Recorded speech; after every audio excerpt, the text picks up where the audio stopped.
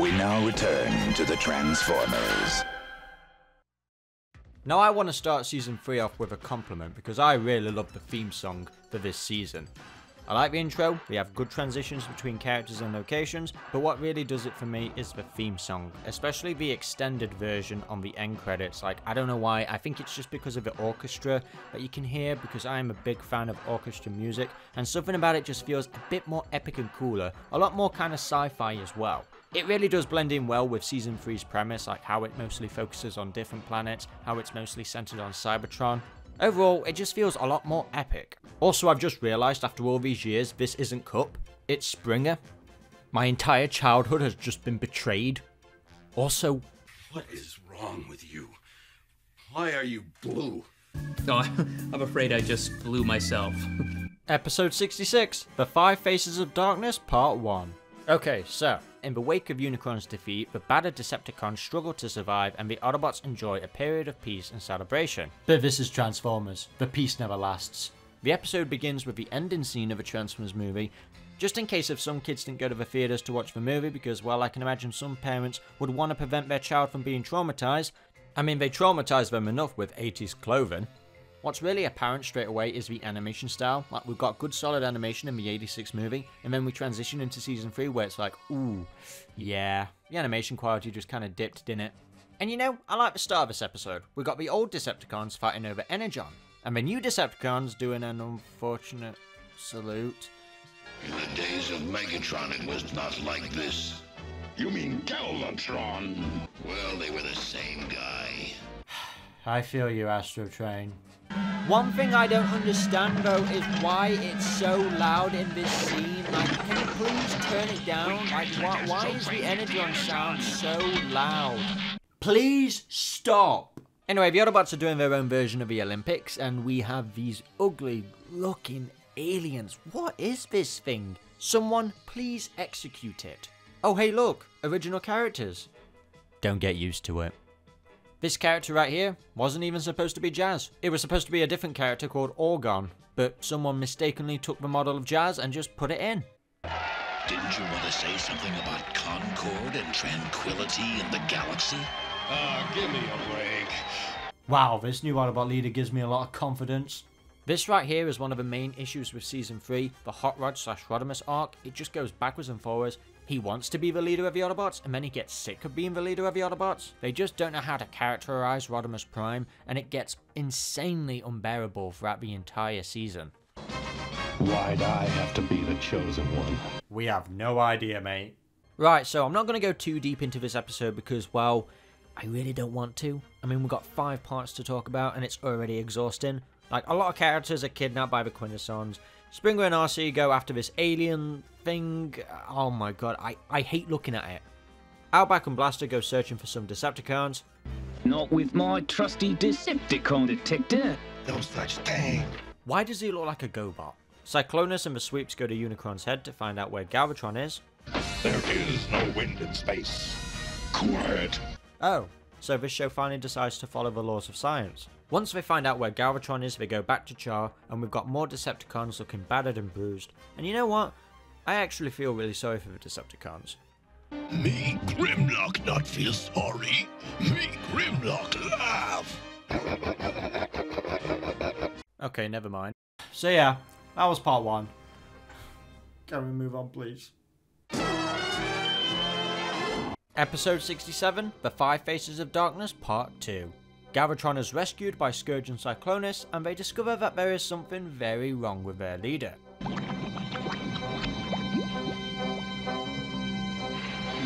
Disturbs my plasma path? Basically, he's insane.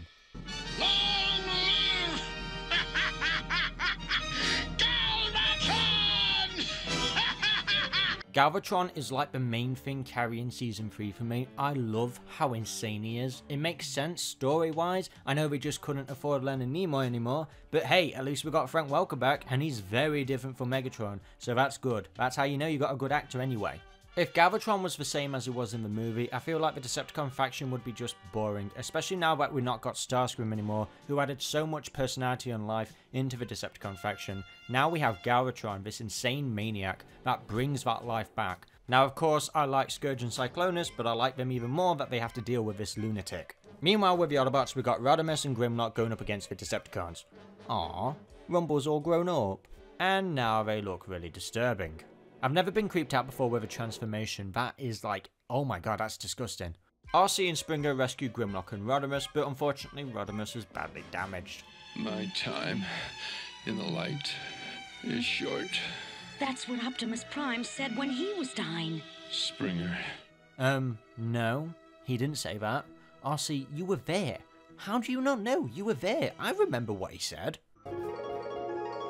Oh, it's me, Maddie. I'm in heaven now. So Rodimus Prime goes on an acid trip that makes him learn more about the Quintessons. Meanwhile on Quintessa with Ultra Magnus, Spike and Kup are being held captive by the Quintessons, and they were supposed to have been massacred by the rebellious Sharkticons in the movie, but for some reason, they're still alive. They're not dead. Why? We'll never know. It never gets explained. You are the Autobot called Kup. You are Cybertron's chief of security. Nah, my name's Teaspoon, and I'm Cybertron's chief dishwasher. I like Kup. He's funny. But also senile. Why do I feel like I've seen this before? Because you've actually been here before. It wasn't that long ago. Dude, how old are you? Anyway, don't even ask. Spike somehow manages to hold one of them hostage. But it doesn't work and they send him down to the Sharkticons.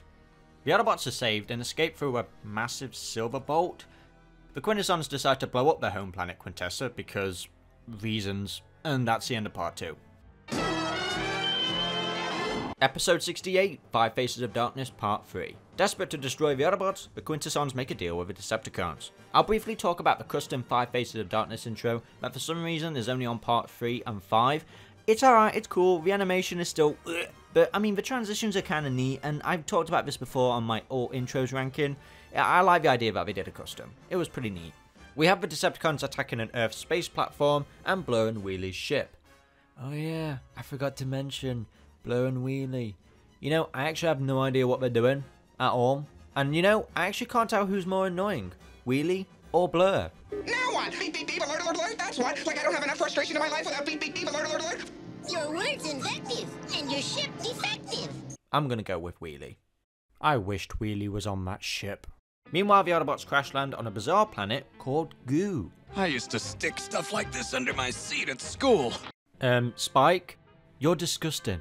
Oh, and Springer gets sucked up by a giant machine and gets decapitated. Because that's a terrifying image. Gross. Alright, so we've got the Quintessons going to the Decepticons and... Ugh, okay. Who plays Bruticus right next to the Combaticons? And why is Autobot Fireflight here?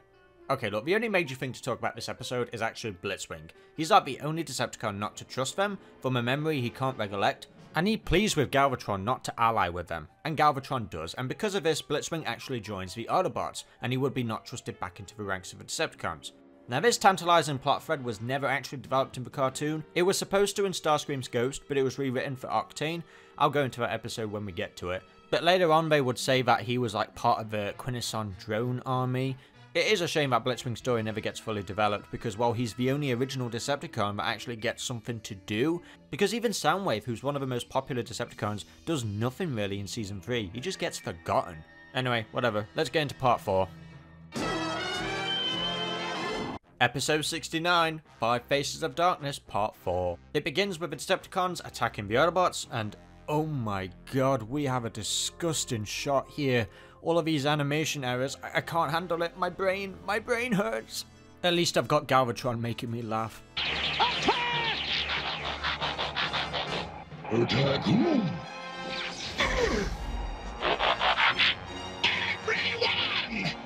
Did he just run in space? Meanwhile, on the Autobot side, Springer is brought back to life by Wreck-Gar, and don't even ask how, it's never explained. It wasn't in the movie with Ultra Magnus, so I have no idea. Rodimus, look who's back! Yeah, good to have you back, Springer. Well, don't let your enthusiasm overwhelm you. He is definitely holding a grudge from the movie that Arcee chose Springer instead of him. Anyway, Rodimus Prime kills himself in order to learn more about the Quintessons and their involvement with Cybertron through the Matrix. That's not even me being blunt, that's just what happens. Now the only significant thing about this episode really is the huge history lesson we get of Cybertron's past as Rodimus Prime enters the Matrix, he is greeted by ancient Autobot spirits that have previously held onto the Matrix. It's revealed that the Quintessons used Cybertron as a factory for two types of robots, the consumer goods and the military hardware, which of course would become Decepticons and Autobots. The Quintessons would be banished from Cybertron, but the war between the Autobots and Decepticons would rage on, with the Autobots learning the art of transformation, and then it goes into the origin story of Megatron and Optimus Prime. And you know, for Generation 1, it's a good origin story, but I'm glad that it's not been adapted in modern Transformers. I just never liked the idea of the Quintessons being the creators. I feel like there's more to Cybertron than just that. Like, come on, there's more to Cybertron than just being a factory. But you know, I'm glad that this origin story does exist because then you can look at it and just think about how much you could expand on that idea. Anyway, Wheelie gets attacked by bats, the Constructicons build a city on Earth that transforms into Trypticon. Okay, how? How did they build this in such a short amount of time? Like, wow, okay. Episode 70, Five Faces of Darkness Part 5. We made it! In this episode, we get introduced to some brand new characters such as Skylynx, Metroplex, and the Predacons, but we also get to see some old faces. As Optimus Prime used to say, transform and roll out! I'm sorry, who are you? But yeah, aw, it's good to see the Ark again, especially with Teletran 1. It just reminds me of those good old days.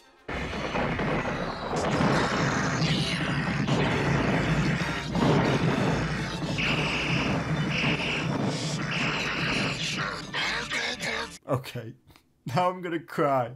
So yes, I know this show is like a giant toy commercial, but this episode couldn't be more apparent. You know, we've got Skylynx with the Predacons, and then we've got Metroplex with Trypticon.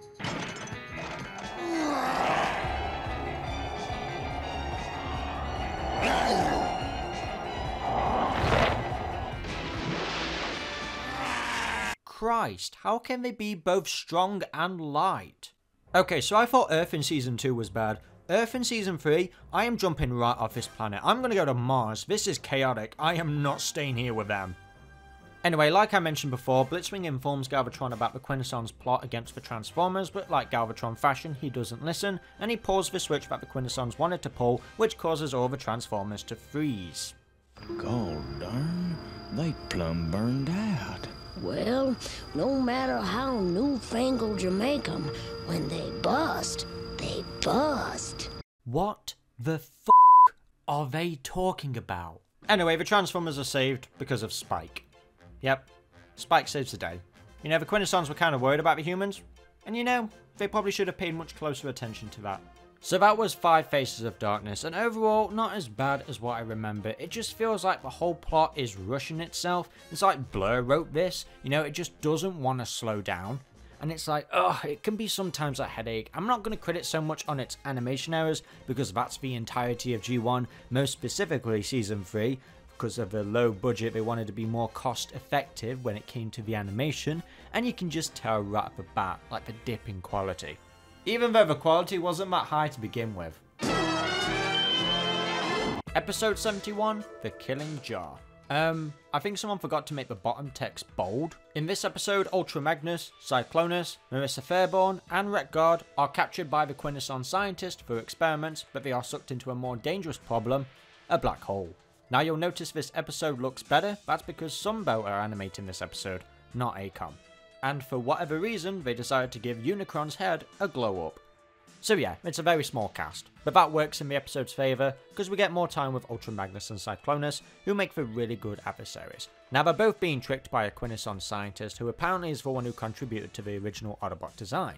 And you know, I don't understand how Ultra Magnus could fall for the fake Rodimus and Skylynx, but with Cyclonus, yeah, I can understand how he fell for the fake Galvatron. Galvatron, why do you attack me, your most loyal soldier? Ah! And we've got Wreck-Gar here watching the movie adaptation of Stephen King's It.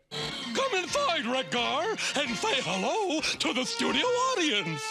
Christ, as a kid I would have been terrified. We also have a human character in this episode called Marissa Fairborn. Now, she actually was in Five Faces of Darkness, but I didn't mention her because, well, she doesn't really do much. She's like part of the Space Force Command, and you know, she's actually pretty cool. She does a lot more in this episode than she did in Five Faces of Darkness. Now, I'm not familiar with G.I. Joe, but they do a connection here with her family tree. At one point in the episode, they go through a negative universe with the black hole, and they all have different alternate colours, like that's very Shattered Glass vibes. Eh, that was kinda neat. Ultra Magnus looks terrible though. They're Roadbuster colours, so I get the toy now when Transformers animated. But yeah, this episode was fine. It did a good job. I love Cyclonus' tiny little head. Episode 72 Chaos. The episode begins with this, oh, disgusting thing. I, oh my god, I hate looking at this every time. It's called a Struxide, and apparently it's an intelligent reptilian. Yeah, I bet. It looks like Ganon's deformed younger brother. I don't even know. That's what Cuppa JJ said. You know this thing looks better like a girl, right? Like, why couldn't we have had this instead? I'm officially going to make it canon that this girl is his sister, and let's just leave it kind of unexplained where she gets her looks in the family. A discovery on Goo forces Kup to face a demon from his past. Basically, an Abyss Swamp Thing. And you know, it does a good job on expanding Kup's character, but we get a new character in this episode called Runamuck, who's usually partnered with his Battle Charger buddy Runabout, but we've got him partnered with Blastoff. I will say though, this episode was kind of annoying of how many questions Grimlock was asking. It's like, dude, shut up. Is that crystal cup where it come from? Me, Grimlock, say you tell now, are we glitch and short circuit? But Kup does eventually tell the story of him being a prisoner, and how when he escaped he just left the prisoners by themselves. Like, it's been a hundred years, and you'd think at one point he would have sent a rescue team. Like, yeah, I know he's traumatized and all, but he didn't have to go. He could have just told people where to go and look for him. Really? You scared of this guy?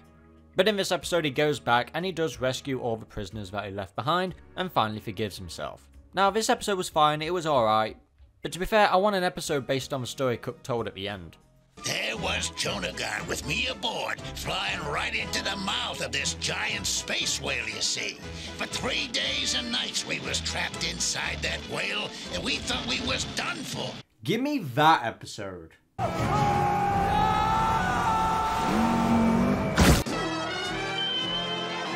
Episode 73, Dark Awakening. Optimus Prime is revived as a zombie by the Quintessons. Sure, because why not? Let's traumatize the kids just a little bit more. Now, this episode is very dark, and I love it, but I can still understand why it was controversial at the time. Because you gotta bear in mind that this episode began production around the same time of the film's theatrical release, so Hasbro was still unaware about how the death of Optimus Prime would impact audiences. Now, despite this being episode 8, they did actually re air this episode to promote the broadcast of the return of Optimus Prime. I mean, to what? To cover up their initial intent of killing Optimus Prime again? This alternate version is actually on YouTube on the Hasbro Pulse channel where you can watch these episodes for free. I mean, this episode is just chock full of memorable quotes and scenes. Monsters. They made me a weapon to destroy the very ones I loved in life. Like, damn, that's heartbreaking. Now, I could go deeper into this episode, but I'm going to give this to someone else who actually watched the episode when it was released Yes, the first YouTuber I ever watched, so I'm happy to introduce PR. All right, hi, uh, this is PR. I am doing Dark Awakening as the episode I chose for this, just because it was one of the ones that uh, is kind of important to some of the Autobot mythos and, and, and Rodimus becoming a leader. Um, right off the bat, you got Galvatron being crazy, talking to the Quintessons, and again, this is how Galvatron is different than Megatron because he's done with the quintessons and he just shoots the computer. Oh, yes, you are loyal allies, so long as it suits your purposes! That's a Starscream move. Megatron would have just turned the computer off and been like, ah, these fools, you know. They find each other in the middle of space and they all just happen to be right next to the Autobot Mausoleum, which is where all the Autobots go, and it seems dead Autobots go, and that seems in and of itself like a bad idea. Just let's just put all of our dead bodies in this thing and just just fling it into space where we don't really know where it is. They act like they just kind of, oh god, I never thought I'd see that again, and yet they were flying right towards it. So they're they're flying out. The, the, ship blows up. They pull the whole.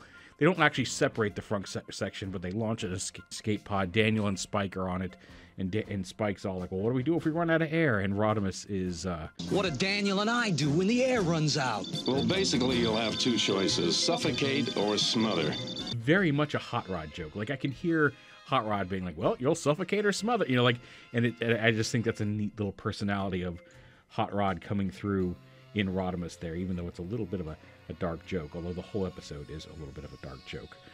So they get into the mausoleum.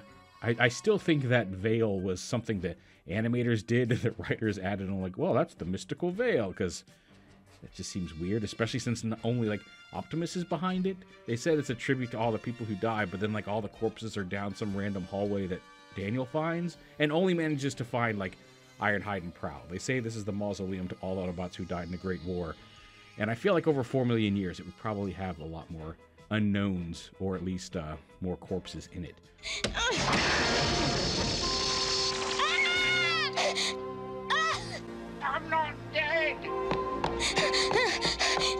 Oh, they, they find Optimus. He, he's up. He's running around. They're not sure what's going on.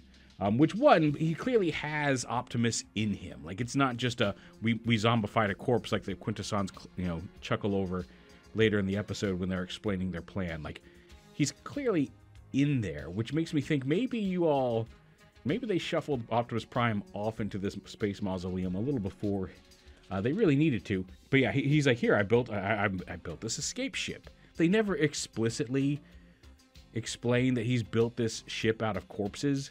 There's definitely like some arms and some legs in there. So uh, you never see a face, but that's a little disturbing. But anyway, Prime goes back. They, uh, everybody else, Daniel and them, build another second corpse ship on the thing in like five minutes and escape crash back into Cybertron. But when they're crashing back into Cybertron, and this is one of my favorite bits of the episode, just because it features one of my favorite auto or Transformers, or I guess Autobots, technically Dinobots. Um, they're looking at the viewport, and Snarl, like a little puppy dog in dinosaur mode, comes walking up to the windows like.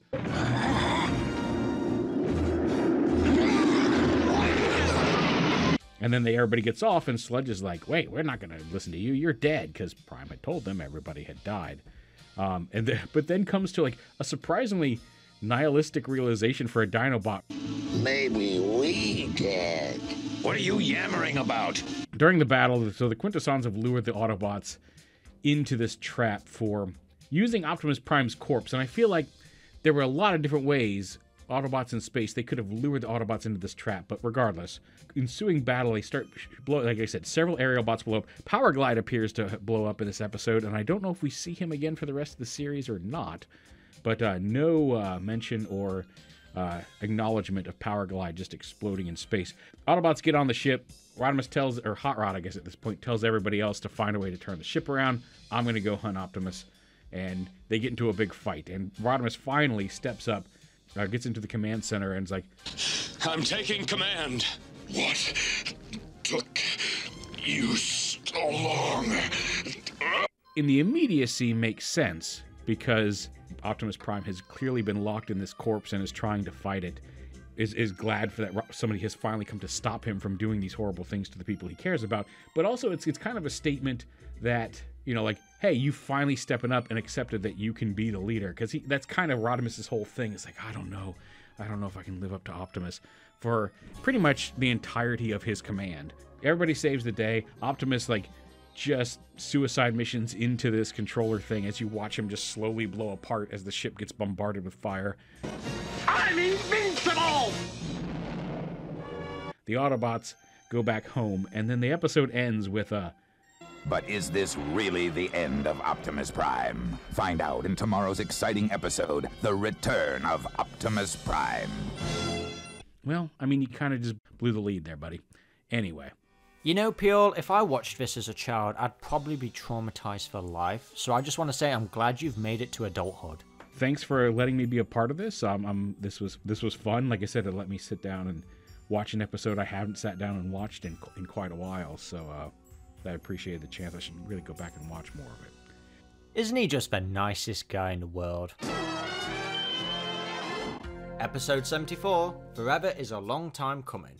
The Quintessons attempt to alter their own history by opening a time window to Cybertron's ancient past, but they meddle with it too much where it ultimately causes time itself to begin unraveling. So yeah, this episode's lame. I mean, I've just watched this episode and I can't really remember what happened. It's an AKOM episode, it's just visually ugly to look at. Alright, uh, let's look at my notes. Um, Alpha Trion's mustache. Yeah, that's ugly. Please change it back, please. Ah, that's better. Okay, so the time loop is going around Cybertron and Earth, and it's like kind of repeating things, but then it's also reverting things. And we've got Marissa Fairborn, who we've seen in a few episodes now, just get revert back to a baby. Captain Fairborn? Don't tell me this is what led to Kiss players.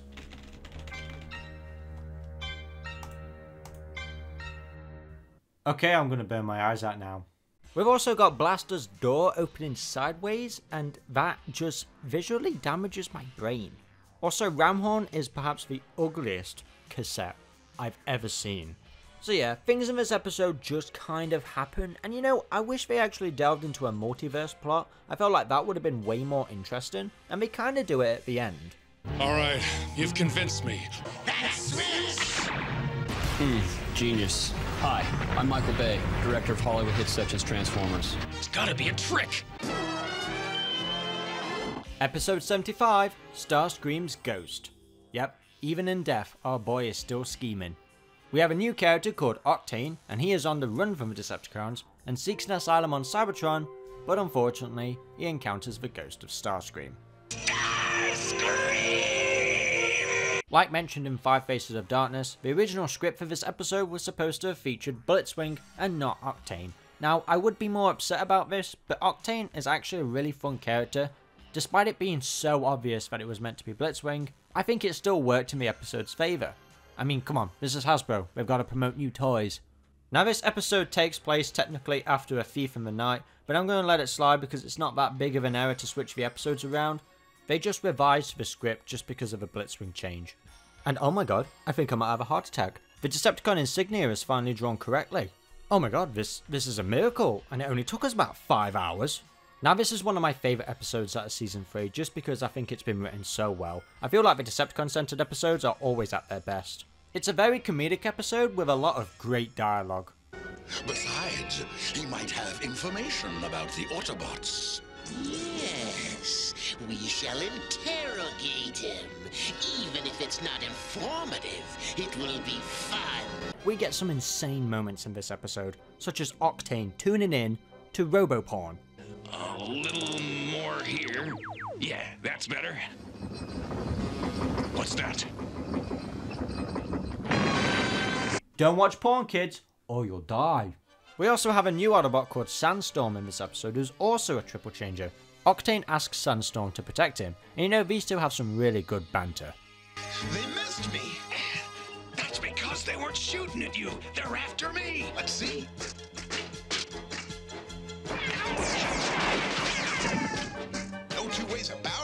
Do something about your popularity.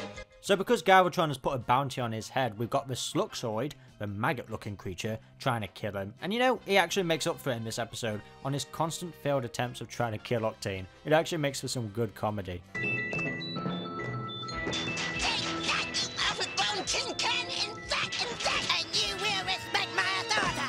We get to Cybertron and while Octane is on the run, he actually ends up falling into a Decepticon crypt.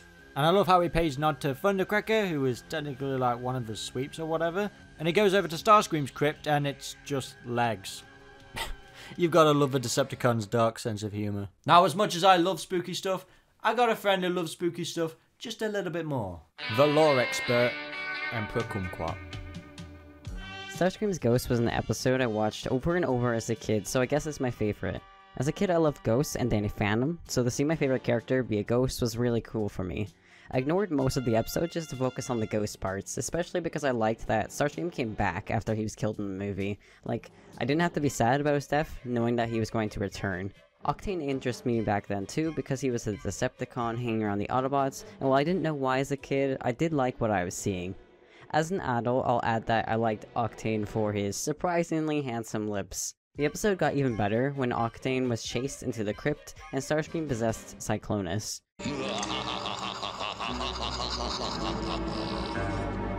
Look scared, moron, or I will have to destroy you. He had to pretend to be Cyclonus, but he wasn't even that good at it, and his screechy Starscream voice was alerting people. Get out of the way! There seems to be something wrong with Cyclonus's voice. Yes, he sounds like Starscream. No need to be insulting. But yeah, one dude working with a ghost possessing someone's body, it was just fun for me as a kid. This episode also delivers on a lot of funny Galvatron scenes. Starscream and Octane team up with the Autobots in order to trap Galvatron, but somehow he manages to get out of that. The way how Galvatron comes back is just so funny to me. It's like he's been on a massacre and all the Autobots are now dead. So yeah, that was Starscream's ghost. A more creative way to bring back a dead character. And he'll be back, but this is definitely one of the best episodes out of Season 3. Episode 76 Thief in the Night. Octane steals Trypticon in an attempt to use him to control the Decepticons. And this episode takes place in the city of Carbombya. Huh, that doesn't sound offensive at all. I'm shocked that the camels haven't rebelled. Yes, I've got to admit I'm not a fan of the stereotypes in this episode, and actually this isn't the first time we've been introduced to characters such as this. We had a bit of it in Season 2. And you know, stereotyping like this was pretty common in the 80s. It's not the only cartoon to do something like this. Isn't it dangerous to cruise near here? Yeah, sometimes innocent ships get attacked. There's no danger, I assure you. Wow, that lasted only two seconds. In fact, this episode is what caused voice actor Casey Kasem, who played Cliffjumper, Blue Streak, Dr. Arkeville, and Teletran 1, to quit the show because he took offense to the name Carbombya because if you couldn't tell, it's a stereotype, along with other stereotypes in the show. Big one being the main human character in this episode, Abdul Fakkadi. Uh, do you like gold? Gold? Yes, this is something that interests Abdul Fakkadi. Who gets sick and tired of Trypticon and Octane taking all of their oil to make Energon.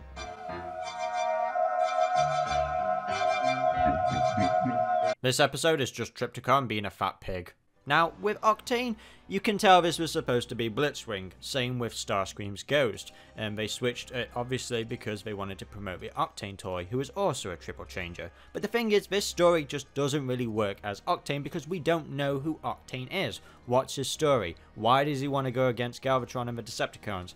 Now the structure of this episode is overall broken, it's all over the place, but if they did have Blitzwing in Octane's role, at least you could look at the episode and kind of make sense of it. But anyway, to keep themselves in Carbombya, ugh, even saying it is annoying. Octane and Trypticon steal a bunch of gold for Abdul Fakkadi, but Galvatron finds out and he is pretty mad. Until Octane convinces him that the energon that they've gathered is actually much better. That's good. Oh my god, I just thought about it. Imagine this guy drunk. Now I know that realism isn't Transformers' strongest suit, but in this episode Trypticon literally picks up monumental buildings from across the globe, like Paris and India, and hand delivers them to Abdul Fakkadi to build his Paradise Nation. Now who would have thought it would be that easy? Now you'd think with Trypticon being a big guy, that the Autobots would know that he's stealing these big buildings because well he's out there in broad daylight, but no, they assume it's one of their own Dinobots doing it. It's like, why? I will admit though, this was pretty funny. We're gathered here, as you know, to figure out if any of you Dinobots was involved in stealing Fort Knox and the Taj Mahal. Why am I under investigation? I'm not a Dinobot. You got dinosaur electrons in your circuit, Skylynx. Nevertheless, Thankfully, it doesn't actually take them long to figure out it was Trypticon. Trypticon's the only Decepticon big enough to have carried off all those buildings. Gee, you think? And for some reason, all the countries around the world think it was the Autobots that stole all these buildings. You know, I'm done with this episode. I, I can't be arsed with it. It is such a pain in the neck. Like, Trypticon throws a building at Metroplex. Watch out! That's a priceless treasure! The episode ends with the Autobots saving the day and, uh, yeah, this. Oh, you have my word of I swear to you on the grave of my mother's camel, and my uncle's goat, and even my sister's donkeys. And did I say my brother's sheep and my nephew's roosters? Such fine roosters! Just stop. Episode 77 Surprise Party. Daniel and Wheelie team up to find out when it's Ultra Magnus's birthday. Aw, that's really sweet. But it's Daniel and Wheelie, so. the episode actually begins with the Autobots throwing a surprise party for Daniel, and honestly, this is terrifying. Like, if they did this for me, I would be terrified. I would never trust the Autobots and my dad again. No, Daniel. Spikes so wise. Plan the surprise. Yeah, I'd shit myself. Anyway, this party only lasts two seconds because of the Combaticons attack. And you know, the Combaticons don't even need to form Bruticus anymore because he's just there, right next to them. Who, on God's name? When Ultra Magnus gets hurt by saving Wheelie's life, Wheelie and Daniel want to make it up to him by finding out when his birthday is so they can throw a surprise party.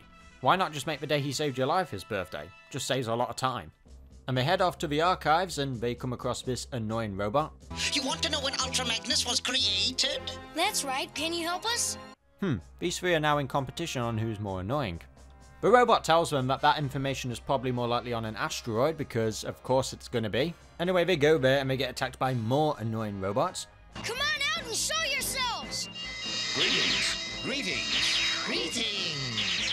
Honestly, I can't tell now who's more annoying. But the robots are destroyed by Cyclonus, and for some reason Wheelie doesn't say anything. Huh? Come on, Wheelie! Wheelie, I think we better get out of here. Yeah, just stay like that for the rest of the season. I love how when Ultra Magnus is talking to that archive robot on finding out where exactly Spike and Wheelie went, Ultra Magnus just doesn't care what the robot's saying, and even this episode doesn't care what he's saying. Oh, yes, yes, yes. They were here all right. I gave them some information about the old... Yep, just carry on. We don't care. One thing that annoys me about this episode is the insignia transitions. They are just non-stop. Like, they must be at least 20. Anyway, Cyclonus takes Daniel in as a pet, and the episode ends with the asteroid with all the Autobot archived information being destroyed, and nobody cares. Really? Priceless pieces of information have now been gone, and nobody cares? Say, I got an idea, guys. What's that? Why don't we just designate today as Ultra Magnus's birthday? What we really want to know, why we not think this up long ago? Happy birthday, Ultra! I feel sorry for Ultra Magnus in this episode. He smiled once, and has regretted it ever since. Episode 78 Madman's Paradise. A quick stroll through Cybertron leads Daniel and Grimlock to someplace different. Please welcome to Cybertron, Inara, ambassador from the planet. Ugh, oh my god. Why does she look like she's made of moist? Oh hey, we get Carly in this episode, and we also find out Spike's last name being Witwicky. This episode is overall fine. It's not good, but it's not great either. You'll notice that Grimlock has become more of a joke now. In season 1, he was like this kingdom warrior. Now he's just wearing a tuxedo. Or an apron? Tux apron? I don't know, whatever. And you know what? I actually don't mind Grimlock in this kind of style of humor. I think it works. It worked in the movie, but season 3 sometimes can go a little bit too far with it. This episode is full of conveniences by the way how Daniel manages to find this underground place on Cybertron that somehow transports him to this fantasy world. Neat monster. Not monster, handsome like me, Grimlock. I think it's good that Grimlock can acknowledge another creature's beauty without people reading into it so deeply where it could be interpreted as something else. Unless, the teaming up of Daniel and Grimlock is much better than the last episode of Daniel and Wheelie. Where are we? Not Cybertron. California, maybe? Wow, even California's not this weird. Isn't it, Daniel? Are you sure? Who are you? Okay, never mind. What the hell is that? Can't find Daniel anywhere. He couldn't have gone far, Carly. Ah, I see you've learned absolutely nothing from the last episode, Ultra Magnus. Are you looking for your little spawn? I saw him leave with that Dinobot. Oh my god, stop talking. Get her face, get her moist face out of the way. Anyway, Spike and Grimlock meet this tentacle, weird looking thing and decide to go off with him to the castle. I don't know. My mom says never to go off with strangers. Everybody here, stranger. Us not go with stranger, us not go. Okay, okay. Attaboy, Grimlock. Keep teaching those important lessons to the kids watching at home. Anyway, the people of Mononia tell Grimlock and Daniel all about the history, and honestly, I don't care. Like, this is boring. Please, can we move on? Anyway, Daniel gets captured by Woodmen, and the Autobots travel deep into Cybertron and touch the same dragon painting that transports them to Mononia, and Daniel breaks free with a creepy old man that he found in the same cellar, and go out to destroy a rock that releases a gold man who turns into a dragon. What the fuck am I talking about? And Wizard Man yells at Grimlock. If Wizard's so strong, why he need me, Grimlock? Because his enemies are many.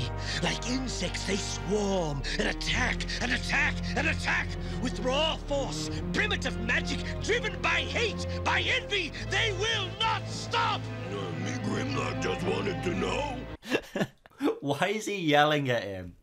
Oh, I feel so bad for Grimlock. Okay, so the evil wizard turned out to be a Quintesson, so they defeat him using Blaster, and Grimlock doesn't understand anything. Dad, it was an accident, honest. Daniel tell truth. He not mean to get all dirty. What's so funny?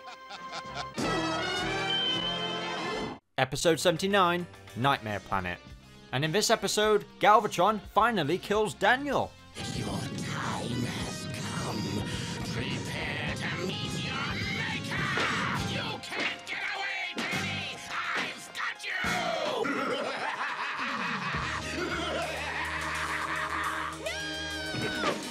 Oh, I'm so happy. No! Oh, for fuck. Now, this episode is actually a nightmare, but if the story didn't tell you that, because we've seen so much bizarre imagery already in this series, you would have just assumed it's just another regular episode. Like, I don't know, I feel like the writer wants you to have a fun time with this episode. But I have a feeling we're not in it for a fun time. The only thing I really love about this episode is just the bizarre team up with Springer and one of the Predacons, Razorclaw. Like, they both hate the situation they're in, and I love it. Get on. Be careful, Springer. Be careful, Springer.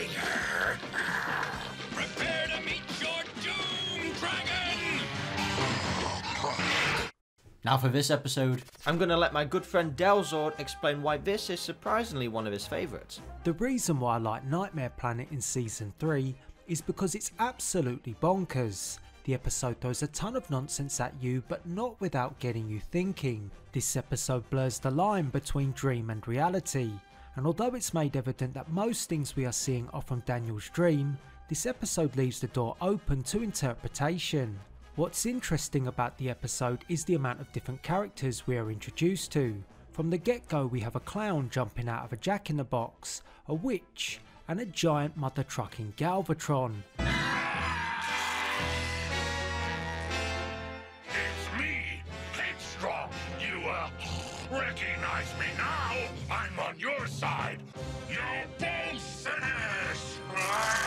Later on in the episode, we have a dragon who captures Springer and Razorclaw, and a giant who manhandles Ultra Magnus and the Predacons, all of which are constructed as part of Daniel's supposed dreams that have become nightmares. It turns out these nightmares are being created by the Quintessons, who are using Daniel's dreams to make characters who they hope will destroy the Autobots and Decepticons. This is an aspect I really like about the episode, as it shows how sneaky and manipulative the Quintessons can be in an attempt to gain victory over the Transformers.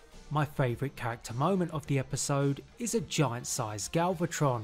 The reason being, he's a giant sized Galvatron. A few other things I find interesting about the episode is just how dark the Quintessons can be, as they openly discuss inflicting brain damage on Daniel by increasing the strength of his nightmares. The setting is too high. Human's brain. Never mind. As long as it keeps him from helping the Autobots, it will be worth it. Also, what's going on with Rodimus Prime's eyes? One minute they are Autobot blue, the next they are Decepticon red. One final interesting note about the episode is that apparently the Transformers deal in the currency of gold, which the princess attempts to negotiate with as part of being rescued. If there's anything to strongly dislike about Nightmare Planet, it's probably the princess. She's incredibly annoying. I'm afraid it's just temporary. The images are too overpowering for Danny to control. But I think the story behind Nightmare Planet, although bonkers, makes it a clever and very different episode. Episode 80 Ghost in the Machine. Starscream possesses Scourge and makes a deal with the devil, Unicron, in the hopes to regain his physical body again. The episode doesn't waste any time and jumps straight into madness with Starscream possessing Scourge. Now you'd think from Starscream's ghost that Galvatron would remember when Cyclonus was possessed by Scourge, but then you'd also think that Cyclonus would remember him being possessed by Starscream. But unfortunately for poor Scourge, they think he's a traitor. Get out of here! Leave me alone! Not on your life! Scourge, drop your weapon! No reasoning with him! Destroy him! He's lost his mind! Oh, I love him. I love Galvatron so much. So Scourge and Starscream head off to Unicron's head, and you'd think with it now being like a moon for Cybertron, that the Autobots would keep a closer eye on it, but they just fly in willy-nilly. Starscream and Unicron struck a deal that if he does three tasks for him, that he will grant him his new body. Now Unicron in Season 3 is being voiced by the late Roger C. Carmel, who does a really good job. Yes, Unicron can grant your request, but only after you have performed three labors. And kind of a sad fact to know, but as this episode aired on October 21st, 1986, Roger C. Carmel passed away from heart failure just a month later. Such a shame. He does such a great performance of Unicron, and along with the other characters he voiced in the series, such as Motormaster and Bruticus. Okay, so the pacing of this episode is just nuts. It transitions from scene to scene so fast. It's really hard to kind of keep up with this episode. It's in a rush to actually finish. Like for the next scene on Autobot City, Kup is doing an inspection on Metroplex, and it's good to see all these old characters again, but we don't get a lot of time spent with them because the scene is in that much of a hurry to finish. Thank you, Kup. We take our duty here seriously. Our worlds are in danger. Blaster, that sure is some serious music. Miraculously, both Starscream and Scourge managed to infiltrate Metroplex's eyes without setting off any alarms. So, what was the point of the inspection? I guess it failed? But I suppose it was worth it just to see Spike and Bumblebee again teaming up. But why is Bumblebee so fat? The Volkswagen looks like a monster truck now. Anyway, Metroplex's eyes get stolen and he goes nuts.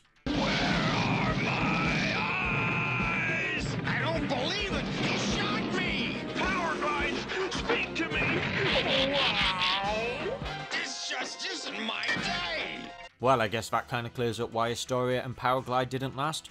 Nah, to be fair, I can't really blame Warpath considering all the season 1 and 2 characters are pretty much gone or dead, so he's clinging on to Powerglide because he's like one of the only few left. But sadly, this would be the last appearance of both Warpath and Powerglide. Now I would explain the next scene, but I think Galvatron does it much better. First, you two let Scourge and Starscream steal one of Trypticon's eyes. And then you two allowed Astrotrain to be used as their escape vehicle. So Scourge is helping Starscream voluntarily, and you four were unable to stop them. Well, all I can say is... Ah! Unicron needs a transformation cog, so Starscream just steals Trypticon. Now why couldn't he have just done that earlier? You know, for the strong silent type, you sure talk too much. It's funny how Starscream has accomplished more by himself in just a few days than Galvatron has all season. Of course, the Autobots are the last to figure out what the plot is of this episode, and you know, with them being so concerned about Unicron being reactivated, why doesn't Rodimus just jump inside Unicron's head and open the Matrix once again? What? Is that recycled plot? Huh, the irony. Unicron wants Trypticon's transformation cog so that he can use Cybertron as his new body. Yeah, at least it'll be accurate to the toy now, I guess.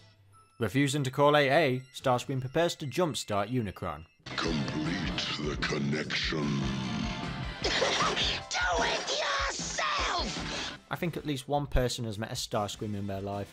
Starscream's new body is short-lived, however, when Galvatron blasts him, which sends him flying throughout space. Mighty Galvatron, what is that? It's Starscream! Blast him! But he's a ghost! Die, you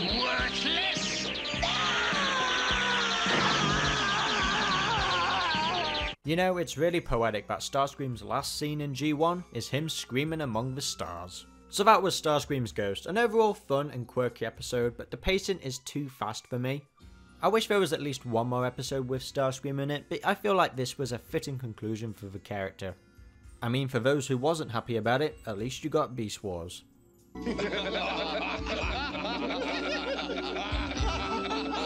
What's so funny, you moron?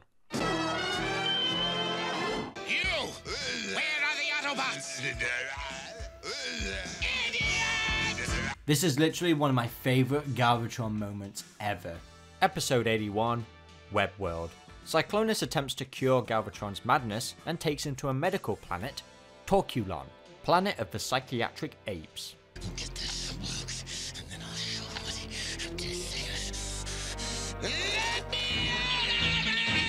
I can't really explain on why this is one of my favourite Season 3 episodes. Now for this episode I'm going to summon one of the first internet personalities that I watched on YouTube. I'm happy to introduce Vangelus. Hey there, G1ers. This is internet cameo personality Evangelist, and if there's one thing I love to talk about, it's the Transformers Season 3. You know, the best season. The sci fi one. The experimental showcase of young writers not yet knowing the pop cultural juggernaut whose veins pumped hearty with their paychecked scripture. And while there are several post movie episodes I love, Web World immediately jumped to mind as a highlight of the series. One of my favorite aspects of Season 3 is that it is, all proper nouns, the season of consequences. And for the Decepticons, theirs is the loss of Megatron, the lingering heralds of Unicron, and the fact that their god-born new leader is now a screaming shell of what he briefly had become.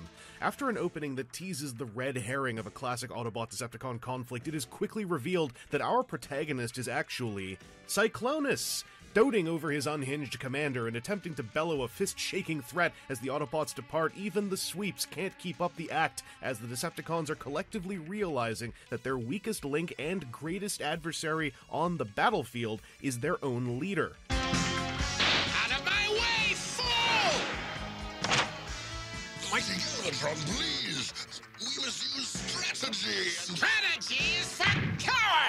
A villain faction episode is not a common thing in classic toy commercial fare, and I adore how much Web World shows us not only the growingly unstable state of the Decepticons and their leader, but also who Cyclonus is as a character at this point. Talking up the greatness of Galvatron while not even able to make Swindle flinch at gunpoint when the Combaticon literally states they'd be better off with their leader slain on the battlefield, Cyclonus is clearly intelligent enough to know something's up when a Quintesson contacts him to offer some dubious help in the form of information about the psychiatric planet of Torkulon, and yet, something must be done. On the other hand, something must be done. It's hard to pinpoint favorite parts of this episode, as I love it minute to minute. Galvatron's ridiculous acts of aggression, the straight up disturbing nature of Torkulon and its patients, the knowing bureaucracy of its overly calm wardens.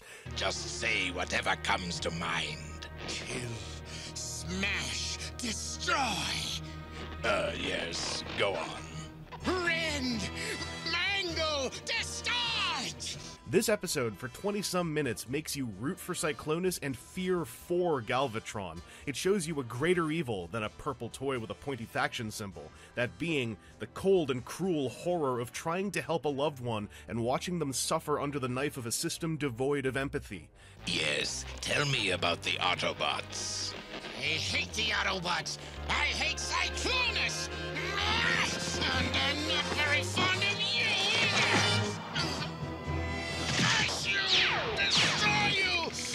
Out of here! Out of Cyclonus is the Decepticon second in command, carries a large laser gun, and can transform into a galaxy cruising space jet, and yet he is rendered silent and obedient, signing endless forms as a Torculi administrator ignores and speaks over his increasingly concerned questions.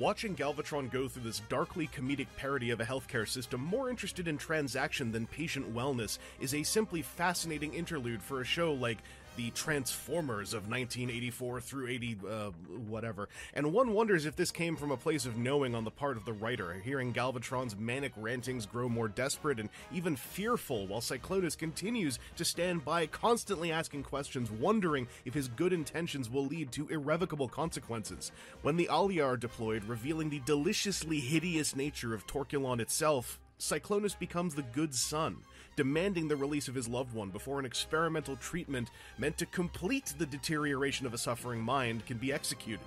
Galvatron bellows his threats, but eventually one of them ends with a painful and terrified, Please! I'll do whatever you want. I'll do nothing at all. Galvatron. Oh, Cyclonus, there's a stormy. Help me! Oh, me! All's well that ends well, though, as Torkulon's hubris wreaks its own extermination. The living planet's attempt to devour Galvatron's mind backfires gloriously, as it is overloaded by a madness derived from the creation of another, bigger living planet.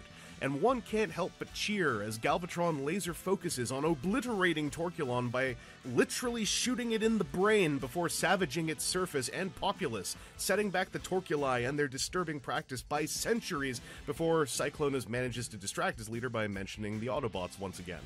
Haven't we more pressing concerns, mighty one? The Autobots, for instance. Autobots! Ultra Magnus, yes! Yes! Webworld encapsulates part of what makes Season 3 so great and is easily one of my top G1 episodes of all time. It also provides defined names for Galvatron's plasma bath neural damage. And as far as favorite little goofy moments and errors, there's a couple. You know, there's some classic non vocoded Dr. Claw voice in the opening 90 seconds with Soundwave. Ratbat has found a deposit of something else. And the Torculi with the inhibitor ray gun is just always assuming a ridiculously intense pose before firing. Uh, and of course, I have no head. I have no head. I have no head. I have no head. Episode 82 Carnage in C Minor. Now, this episode is notorious for being one of the worst and poorly animated episodes, but to be honest, I don't want to talk about it. I actually showed this episode to my friend Daniel, and I'll let his reaction speak for itself. Hi, recording my execution video. You don't even know anything about G1, do you, really? I don't know anything about most, most things. And this is no different. Yeah, Daniel's pretty honest. Honesty is the best policy. So this is regarded as one of the best episodes of Generation 1. Means nothing to me. You know him, don't you? Summit Wave. Yeah. Sound Wave, is that one? Yeah, this is Megatron but Galvatron now. No, that one. So there's combiners which are bigger than regular Autobots, but there are some combiners in this episode that are the same size as regular Autobots. So devastator there. He's supposed to be way bigger, but he's small. Was that a salute? that looked a bit dodgy. Oh, that looks weird. No, that looks very weird. Everyone dies. if you took that out of context, that would look very weird. Also, if you're flying through space, isn't it supposed to be like I know, jet propulsion or something? I don't see anything coming out. Hmm. Like, how are they flying in space? Isn't that a drug trip? This whole episode's an acid trip. Oh, no, I was right. So much for the comet! What- What's that supposed to be? So much for me. I'm leaving. It's meant to be a parody. no. It reminds me of that like that shitty Legend of Zelda. Yeah, that's what I, I was actually going to say. But I was. That's what it reminds me of. Yeah, I was going to say. It just reminds me of that. When you said this was the best episode, do you mean that ironically or unironically? Unironically.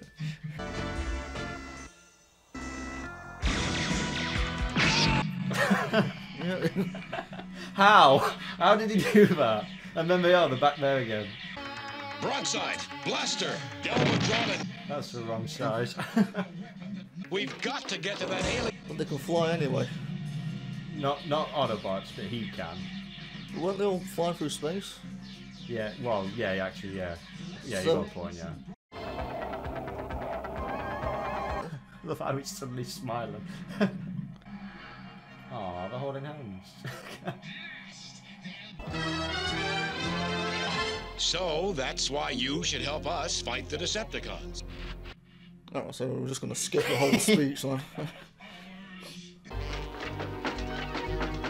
Great animation. I hate it. It's so long, it's like tw- it's 20 minutes, but it feels longer. Yeah, it feels probably more like two hours.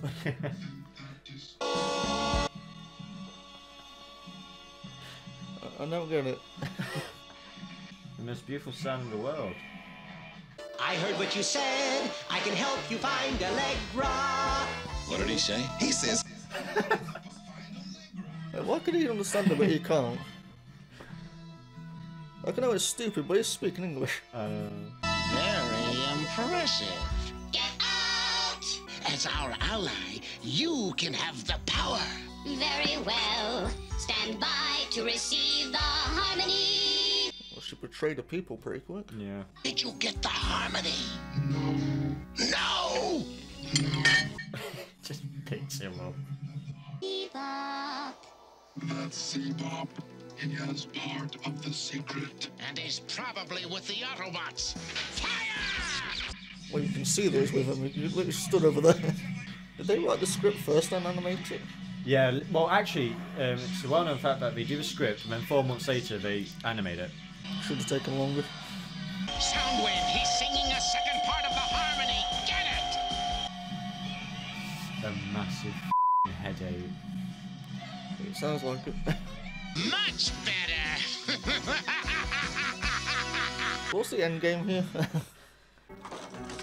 Ah, unconscious. She won't feel a thing. I'll probably just cut that bit. I should rewrite that bit.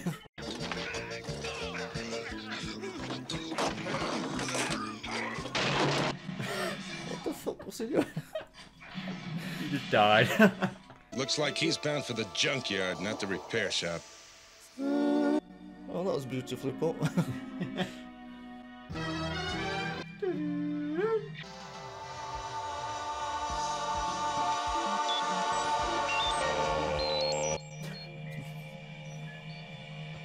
What we did? Get on the track, Jack. We took the.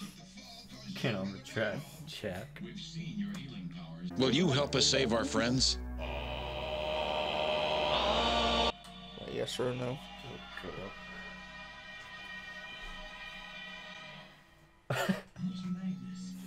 Blaster, what happened? It's a long story, Perceptor. I'll tell you on the way back to Earth. Yeah, like you said, they just don't want to explain anything to the audience. Just deal with it. Autobots! Impossible! Broadside! Not really impossible, is it? You kind of be to be expected. Just the button that says erase. Just grab his ass. that seems like a big flaw in his design. Just Yeah. erase his tapes, press the button. so there, there, there, Daniel. That felt a lot longer. So Daniel, how would you rank Carnage and C Minor? Well, let's say you've never eaten food before, and I give you a plate of raw chicken and you eat it. You're thinking, that tastes really bad. Like, you've got no, nothing to compare it to, you just know it's bad. Yeah. By any standard. well, if that's the best I've got to offer, then I'm worried about the rest of it. It's very confusing. All like this? Or is this just a special episode that's just immensely fucking confusing? Like, who sat down and set wrote this and thought, yeah, th- this makes sense. This seems like a good idea. This took, this isn't annoying. Buzz this bitch screeching in my fucking ears out. It's, it's the most, it's the worst rated for a reason. It seems like everything was a draft that they gave to a team of interns, Yeah. and they said, "Fuck it." Yeah, that's it. Episode 83 The Quintesson Journal. A Quintesson device may just be the key to peace between two worlds. The episode kicks off with one of the worst narrations I've ever heard. For centuries now, the planets Zetaxis and Lanark have been engaged in a senseless and brutal struggle. Can we get Casey Kasem back? You know, these aliens are disgusting. Can't we just kill them both? So, for some reason, we have a flying tampon just travelling through space, and both Autobots and Decepticons pick up its signal, which leads to more combat. And nobody actually seems really interested in being part of this episode. Cyclonus is bored, Skylynx is bored, everybody's bored. This is Cyclonus. What news, Predaking? Oh, and for some reason, Outback hasn't got any colour on his visor, and it's a recurring thing. It's throughout the whole episode. Remember who he is? He's the Australian one. You know, everything about this episode is just annoying. The Quintessons kidnap the Autobots, but they break free very quickly because, well, the Sharkticons are literally the dumbest henchmen in existence. Well, these bars present a little problem, don't you think? Now, damn me. Be glad to. Oh, finally, Galvatron shows up. I can at least somewhat enjoy a bit of this episode. But you said no mercy, Galvatron. Very true, so I will show none. You know, this episode has just lost me to continue talking about it any further when it's like, why would the Quintessons just allow their journal to float through space? Well, at least I learnt one thing in this episode. This reminds me of your wrestling shows on Earth. At least those are faked, Rodimus. Wait, you're telling me WWE isn't real? Ah, uh, this might be a good time for a break. Yeah, couldn't hurt, seeing as how everybody's already left anyway. How much do you want to bet that's how you're feeling about this video? Now for episode 84, The Ultimate Weapon, I'll have my good friend Sam from TFI Creations explain why this is one of his personal favourites. God, I keep saying that wrong, don't I? These guys are all my friends, I, I promise. Hey Cam, Season 3, The Ultimate Weapon. I absolutely love this episode, mainly because it has one of the biggest inspirations that I took for one of our works in TFI, and that is a one-armed defensor, because I love the Protectobots to death. The Ultimate Weapon was my first experience with the Protectobots, and especially First Aid. Because when I first got the First Aid figure, I had no idea that he was a pacifist.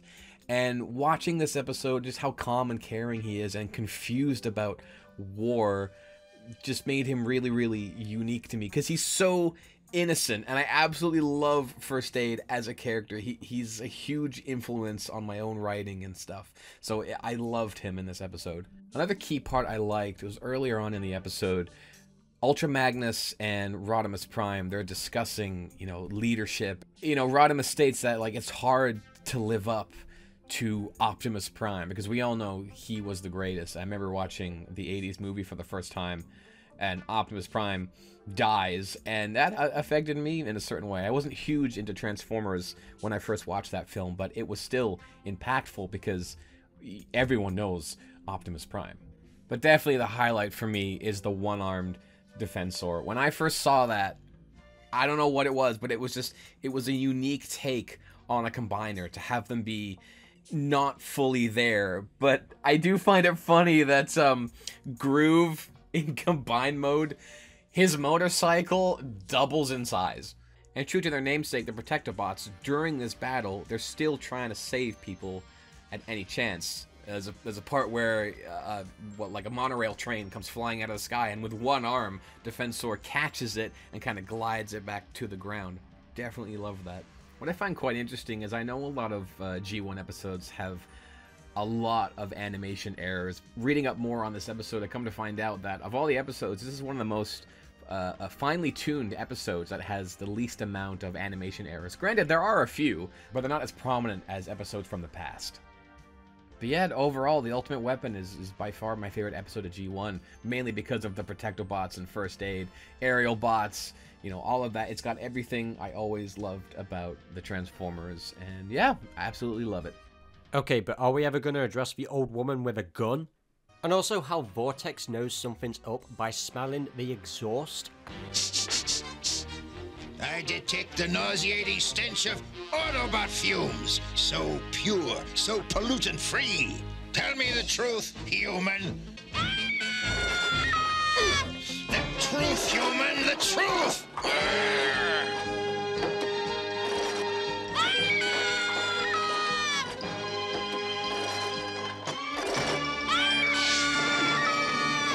Finally! Okay, so I know they're supposed to be undercover, but still, at the same time, I can't believe they just allowed him to fall out of a car. Like, why were you just watching that?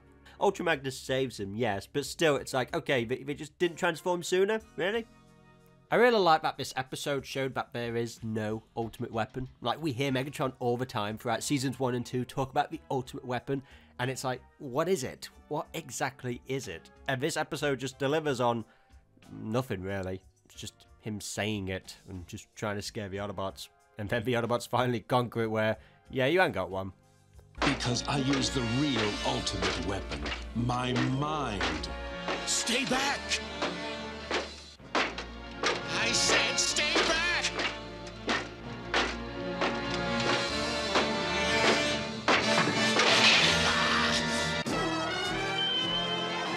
Episode 85 The Big Broadcast of 2006. The Quintessons attempt to retrieve their lost records journal, so they use subliminal messages on the Junkions and inadvertently the entire galaxy. Telling the Junkions that being neat is a good thing, and that the other races are their enemies. Only problem is, they send out the wrong message, causing the Junkions to believe that they should transmit their broadcasts to other races, and the affected races soon begin lashing out on their neighbours. And all out war breaks loose.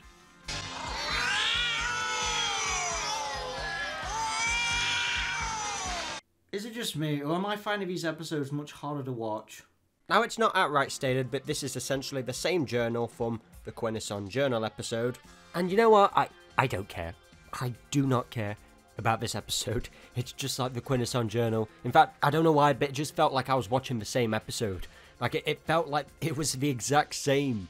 Like, even the characters do not care about this episode, and I cannot fault them for that. The new hyper generator will restore power to the entire 7th grid sector. Hmm? I know you're bored, Rodimus, but with the mantle of leadership. Like, literally, I have the same amount of patience as Galvatron does in this scene, which is none. Fool! Ah, do you think I care? Mighty One, if the Junkions have turned against the Autobots, perhaps. Perhaps, I still would not care. Now I've got really nothing wrong with the Junkions. I just stopped caring for them after the movie. And, you know, yeah, it's good that they've got more screen time. But this episode's really trying to get me to care about them, and I just don't. I have said, have I not, that the Junkions are of no interest to me? Yes, Mighty One.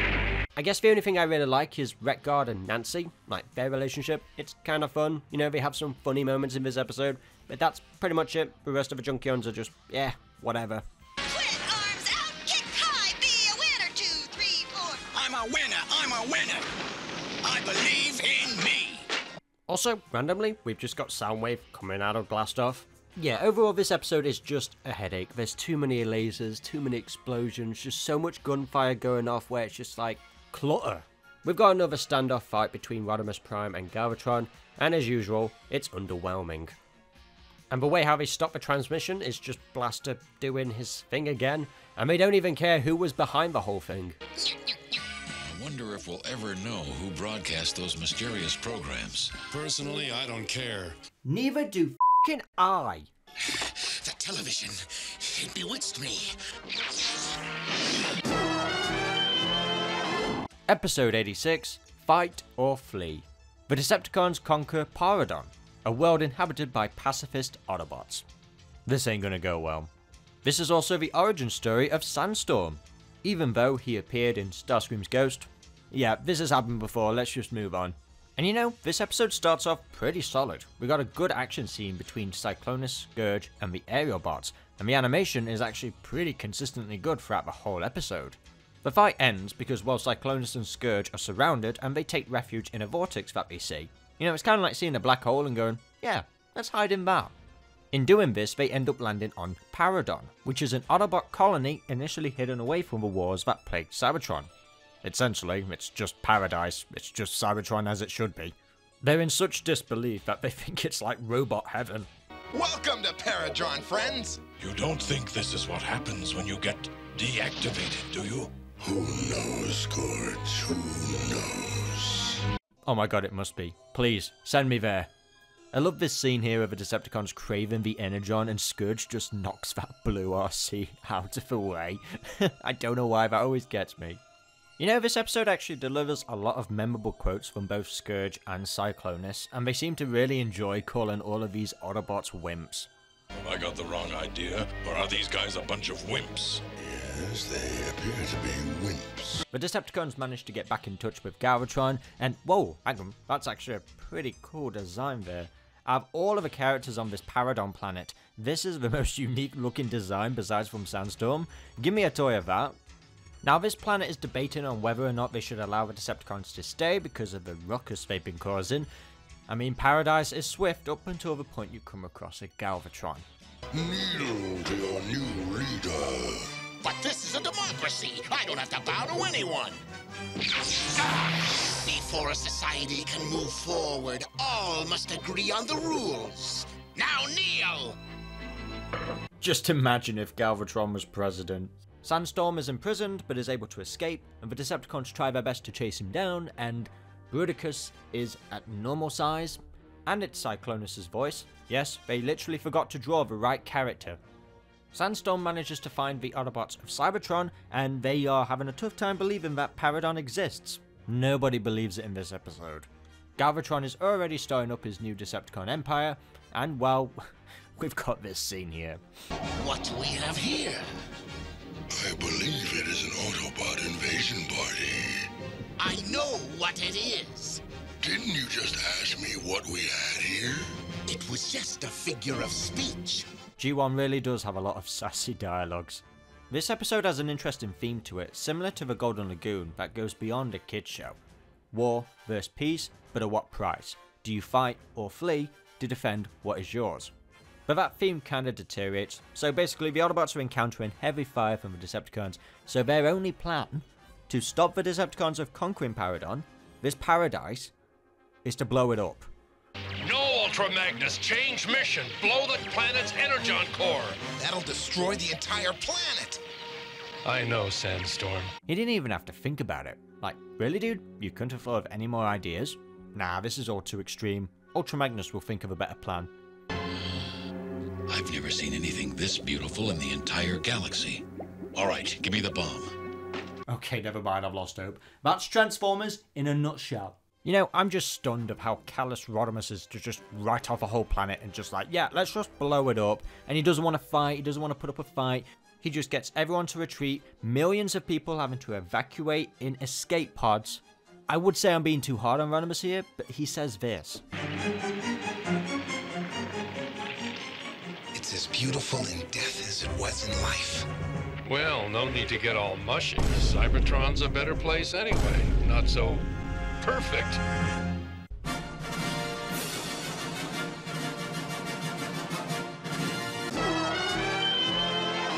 Episode 87 The Dweller in the Depths. The Quintesson's latest scheme to regain control of Cybertron is to unleash one of their oldest creations. Basically, this thing is Cthulhu. So we get new lore. In the distant past of Cybertron, the Quintessons created this thing. And, uh, well, they're gonna use the Decepticons to unleash it. Kinda some interesting backstory there with the Quintessons and Cybertron, but it's this. Also, I'm pretty sure there's a continuity error in there somewhere. The Quintessons are too scared to release the beast themselves, so they trick Galvatron into doing it for them. this is gonna be fun.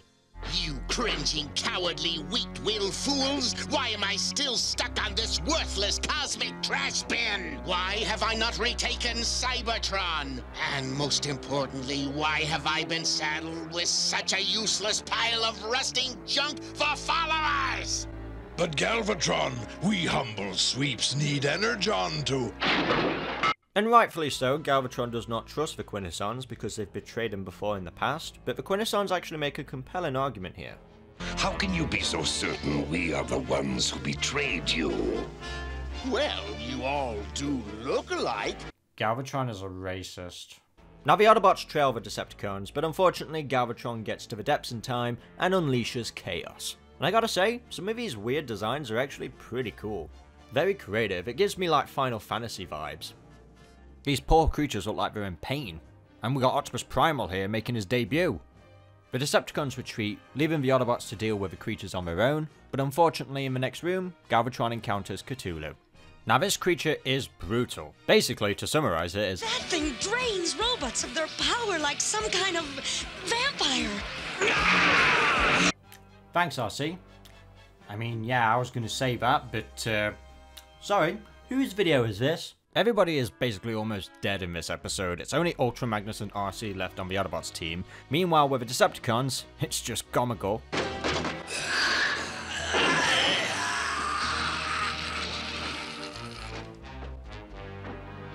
Yeah, be a good soldier. Help him!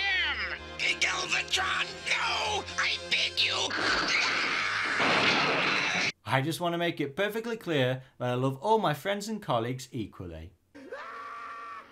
So Arcee is able to hold back the creature by using Galvatron's own cannon. Now why couldn't Galvatron have just done that? So the way how they defeat the creature is just bizarre. So the Autobots and Decepticons who are infected have to hold hands. The power of science, I guess? So the Autobots are holding back the creature with the help of Optimus Prime. Okay, who did the colours on that? So the Autobots defeat the creature by using Perceptor's generator that was at the start of the episode. The Quintessons get a taste of their own medicine when they have to deal with the creature themselves, and I gotta say, this is a very fitting end. God, I absolutely hate looking at this thing, it makes me want to throw up. Episode 88 Only Human. The Autobots interfere with a crime related business, so a powerful crime lord has their minds placed into synthoid bodies, with the help of a familiar old snake. War has changed. No, not that snake. Yes, that's right. This is our first real G.I. Joe crossover. It was just kind of hinted at before, but now we've got our real crossover. I don't know why they didn't take more of an advantage of this, because like I said earlier, like a G.I. Joe and Transformers crossover would have been actually pretty cool for the 80s. Like, I'm pretty sure that would have gotten a lot of viewing figures. The only time that the Transformers and G.I. Joe crossover is within the comics and toys. Now, I don't care for G.I. Joe, but who knows, maybe a crossover would have done it for me. The episode begins with destruction, and Springer proves that he is terrible at saving people.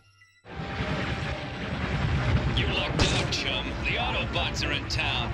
Now this is a good switch around from Season 2's Autobot Spike, where we had a human becoming an Autobot, and now we've got the Autobots becoming humans. And this concept would be adapted several times throughout the Transformers franchise, such as the two-parter in Transformers Animated called Human Error, but if that's not enough for you, then you can just go on Tumblr, and there's about billions of different kinds of fan fiction on there. Now, Transformers Animated's Human Error episode had to stretch it out to two parts, and honestly, I wish that this episode would have done the same. It's just so rushed. There's just so many ideas in this episode that are just half developed, and towards the end, the scene transitions just make it more apparent that it wants to finish.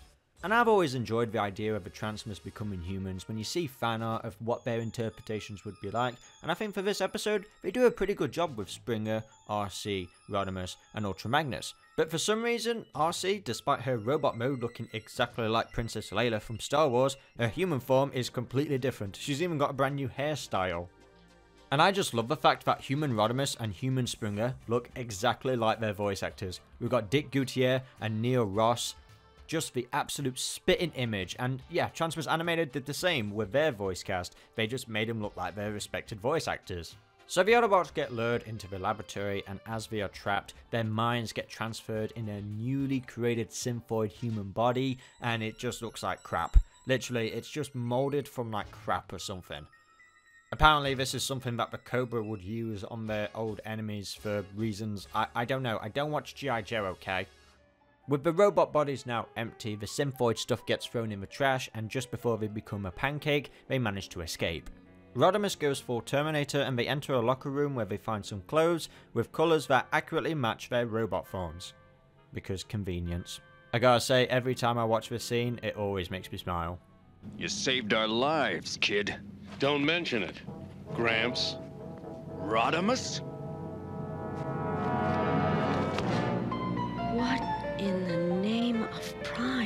I just love how sad Ultra Magnus is. Yeah, dude, same. I, I hate being a human too. It, it sucks.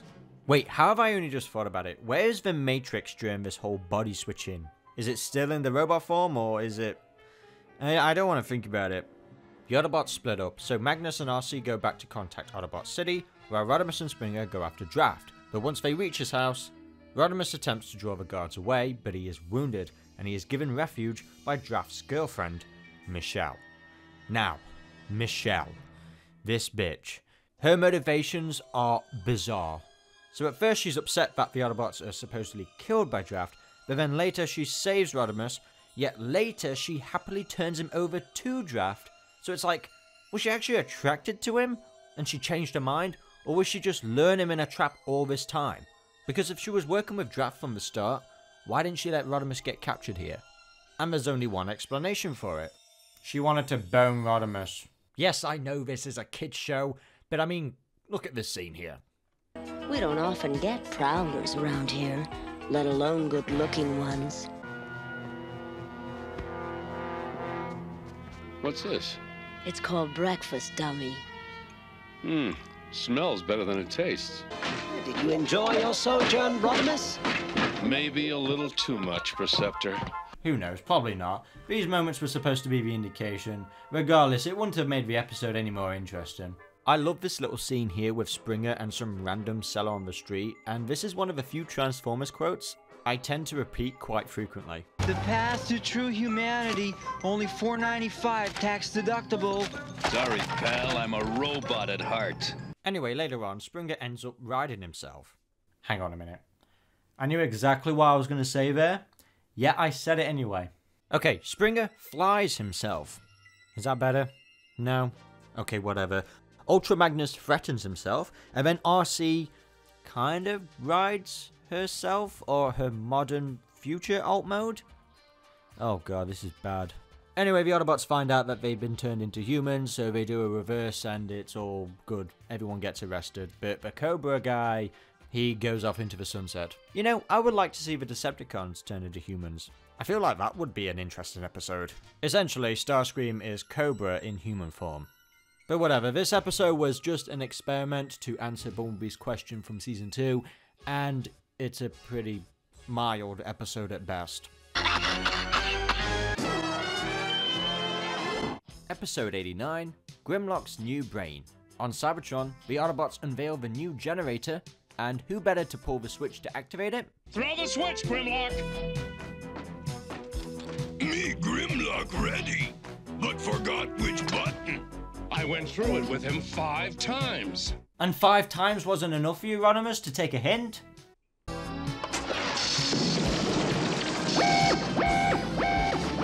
can't believe it! Grimlock! In this episode, Grimlock gains tremendous intelligence and creates the Technobots, and when combined, they form Computron. Unfortunately, the episode sees the return of, um, the most hideous creatures to grace the Transformers cartoon. Okay, so the journey on how Grimlock gets this new intelligence. Uh, so the new generator is causing all the Autobots to malfunction, so they go down to try and fix it. And this is what I was talking about earlier on in season 2, like the Dinobots just become a joke, but most specifically Grimlock. Like he used to be this warrior, and now he's just become slapstick. Oh, you think me, Grimlock, just stupid? You no want me anymore. Now, I'm not going to complain too much because, while I think this Grimlock is funny, you know, Greg Berger does a great job at delivering the lines. He works for both the serious and the comedic relief. I just kind of wish there was a bit more of a balance to it instead of it just being kind of just thrown in there. Now, Kup is babysitting Grimlock, but they actually stumble into the core, and then Grimlock, being Grimlock, destroys the generator with his teeth, and in doing this, causes an electrical surge, and he is granted a brand new brain. Grimlock is smart now. I, Grimlock, used my rear molars. Uh, that makes good sense. Good going. You what? We now have a T Rex with vocabulary.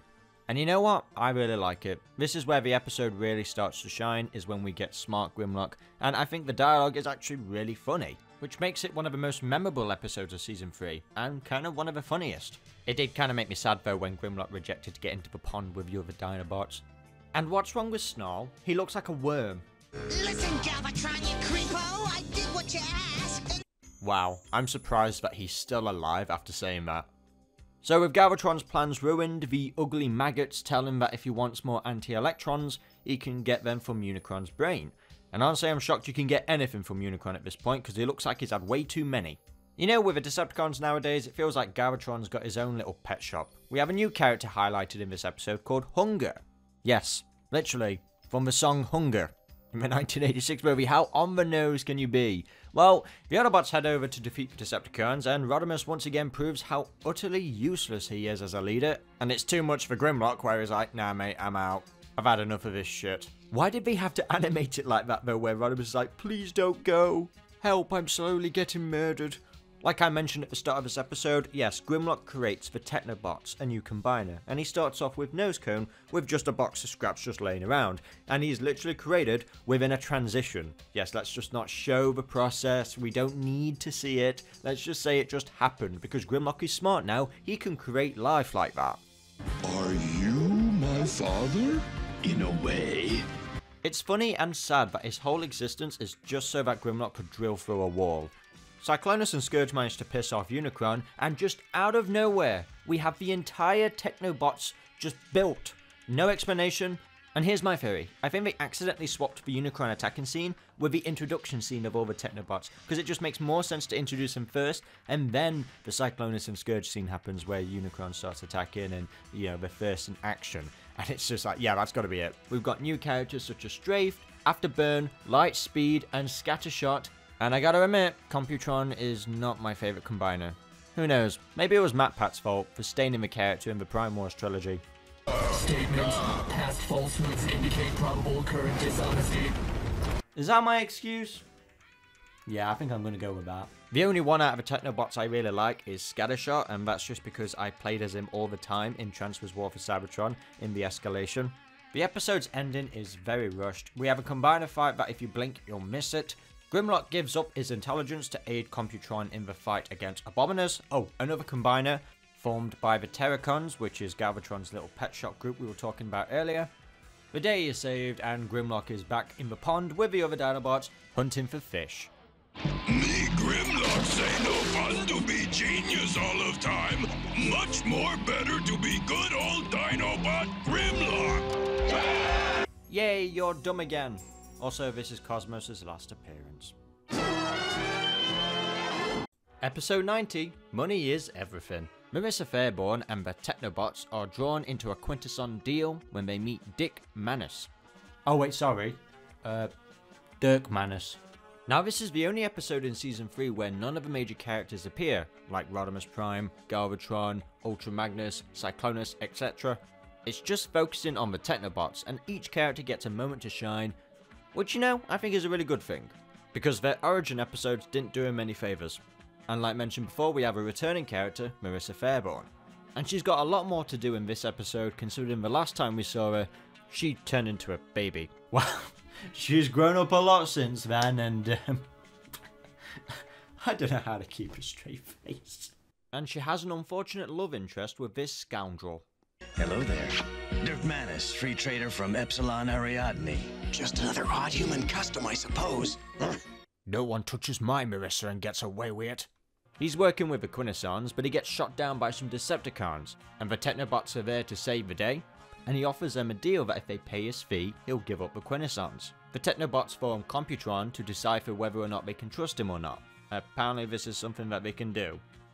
How long are they gonna keep that up? Till they decide whether to trust you. In Computron mode, Technobots have the computational ability of 200 supercomputers.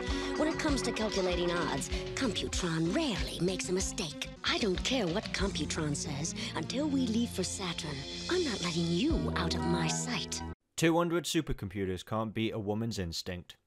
Now, when it comes to this Dick, I gotta say, at first he seems like another Oggy, you know, that character from season 2, but over the course of the episode, he kinda grows on you, and his banter between Marissa is actually quite comical, despite the situation being incredibly toxic. So his situation is that he has a device that the Quintessons want called the Recreator, which basically just disassembles and then also can reassemble the victims.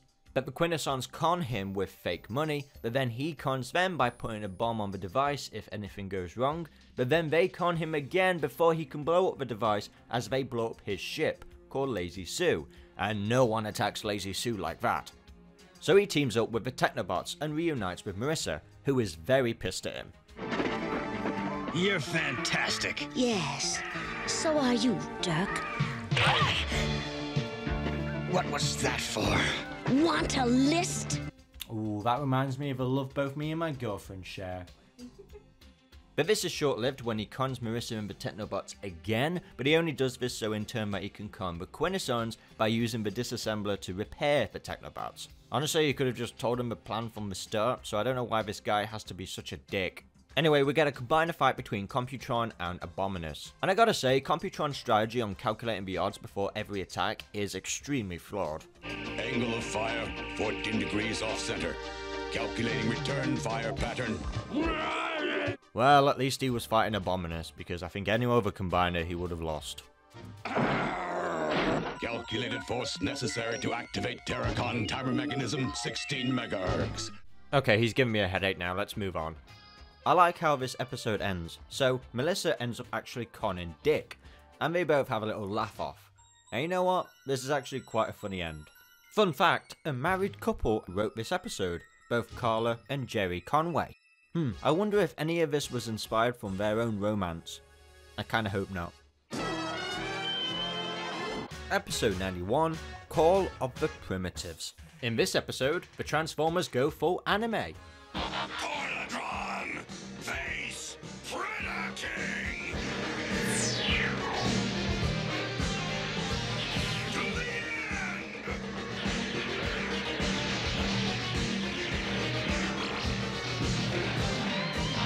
Well, that escalated quickly. Seriously though, this has some of the best animation I've seen throughout the entire series. So in this episode, a monkey creates Unicron's little brother, Tormatron. That doesn't sound real, it's so stupid. Grow on Energon. You are more than I could have hoped for, Tornedron. Much more. What the fuck is this piece of shit? You know, I just want to talk about the animation style. It's just drop dead gorgeous in every shot. And you know, if the entire series was animated just like this, in this kind of manga anime style, I feel like most people would have had a different outlook on G1. But I can't fault the fans for wanting episodes to be more in this style. It really sets the bar high, even though the bar was not that very high to begin with. I'm a sucker for over stylized character models, you know, when you got Rodimus just looking the way he does, he just looks so much more pointier. Well, I mean, all the characters do, they've all got a certain sharpness to him that I just go, wow. Like, I'm not kidding, I was too focused on the animation and I completely forgot what the plot was about. Okay, so a glowing rock called the Oracle created Unicron with the help of a monkey called Primacron. So the Oracle summons all the primitive Transformers to gang together to defeat the monkey's latest creation, Tormatron. He's described as Unicron's little brother. And he's causing havoc, so the Oracle wants him to be stopped because he's making everything grey. We got grey Transformers, we got grey Earth, everyone's grey. Now, the plot of this episode is very forgettable, and that's a good thing because I don't like the idea of a monkey and a glowing rock being responsible for the creation of Unicron.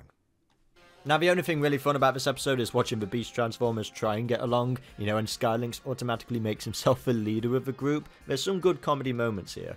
The way how this episode ends is just stupid. Primacron, who creates all these, like, giant beings, does not know how to defeat Tormatron. He says he's thought of everything, and Grimlock's just there like, Me, Grimlock, solve problem. Ugh. Of course, the reverse switch. Why didn't I think of that? You not smart primitive like me. Me, Grimlock, think I did right thing. Grimlock just saved the whole universe with a switch. I'm just trying to process that.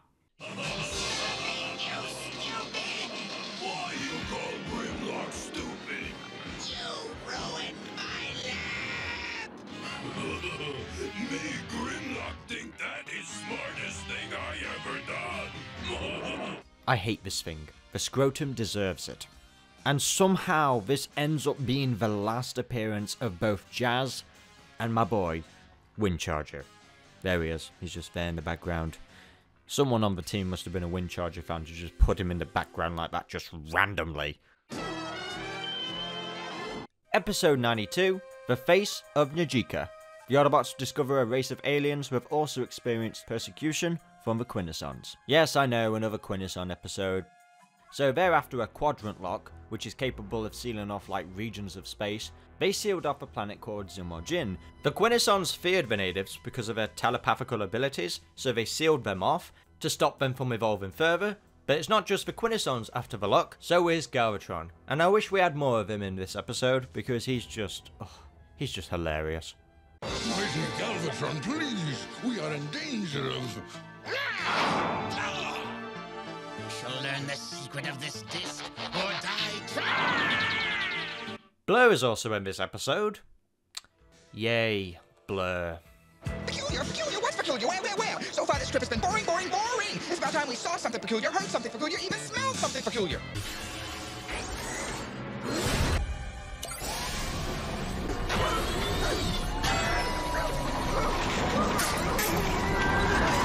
Put yourself in idle, Blurr.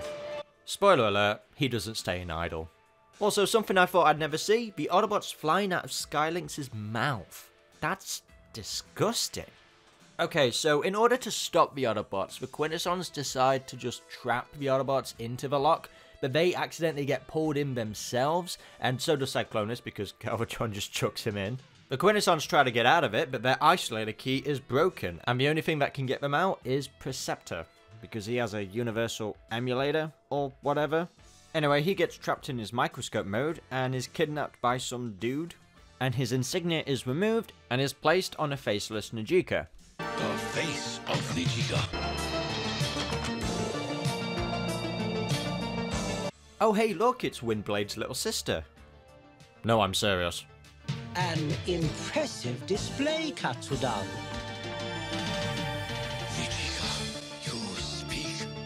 Per this unit's design specifications, yes. Does this surprise you? You know, the only thing creepy about it is that she's using Perceptor's voice. No, wait. Oh, I just realized. Perceptor's consciousness is inside of her. Okay, so Perceptor ends up in a tiny alien Asian robot. Well, it's not every day that Perceptor gets to show his inner feminine side. And for some reason, they were terrified your people would reach the stars. Okay, so he doesn't have to hold it like that, but he does anyway. Take me to the city. Wait a minute, I didn't realize how small he was. Okay, so on to the other Autobots. Uh, they are carrying Blurr, who was injured during their fall to the planet, and he is not happy. You can tell Blurr's mad when he starts speaking slowly. Get us out of here! Wham, zip into car mode, zoom, push, gone, we'll never have to think about. Oh, oh. Go find Perceptor.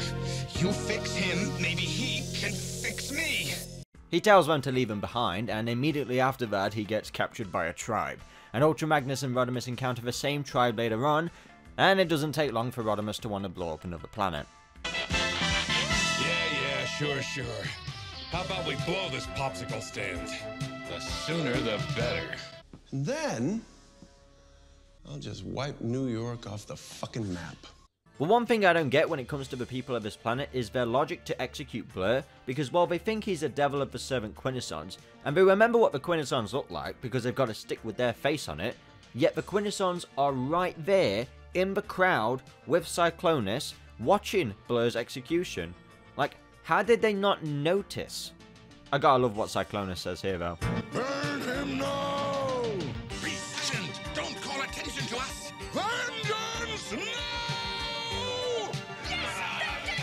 Anyway, yeah, the day is saved, uh, they get their stars back, Perceptor has to hang up the dress, and actually this is Perceptor's last episode, so I guess this is like a good last episode for him.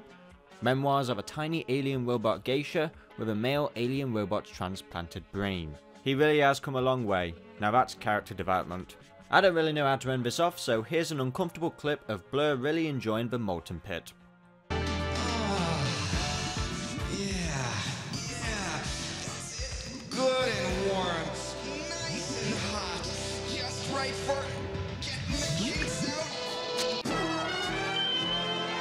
Episode 93 The Burden Hardest to Bear. In this episode, Rodimus Prime doesn't want to be the leader anymore, so Scourge takes the Matrix, and Galvatron loses his shit. Only Galvatron leads.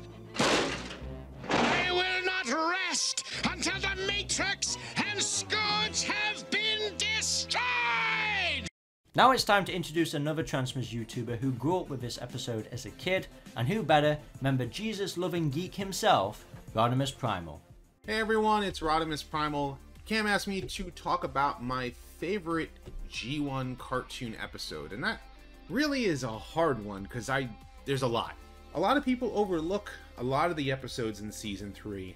Which one is my favorite? I'd have to probably go with the burden hardest to bear.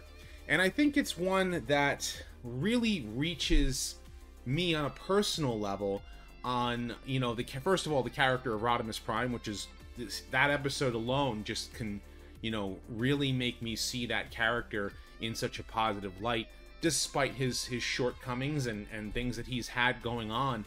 You know, you have Rodimus Prime at the beginning of the the episode is leading the Autobots to, in the defense of Japan, where the Decepticons are attacking, and he wins. He's able to, you know, you have you get to see some uh, your old uh, G1 favorites. You get to see Devastator and Predaking fighting Broadside. You get to see Skylynx riding in with Rodimus Prime and Kup against Cyclonus and the Sweeps. You get to see Defensor fighting against Bruticus, which is, is great as well. But despite all of this, Rodimus Prime has to deal with, well, the fact that even though he is successful in what he's doing, people just don't see it. You know, uh, the people of Japan sit there and they they give him an earful uh, because the Decepticons attack and it scared away business and people are are uh, are terrified of the Transformers fighting. But here, Rodimus Prime is like, Hey, I am well aware of the damage that's been done, but we stopped the Decepticons from. This is very bad for business. You frighten locals and scare tourists away. Yeah, then maybe you ought to try protecting yourselves. Your presence and the presence of others like you does endanger us. And so Rodimus Prime is, has that that burden on his shoulders, and he's like, I just I got to get away. Give me a break, will you? Since when am I the only one who can solve everybody's problems? But, but you... Just leave me alone! and then the Decepticons end up stealing the Matrix from him, uh, bringing it back to Chaar, where Galvatron like is like wants to play with it. And he's like, You dropped it, didn't you? You broke the Matrix, didn't you?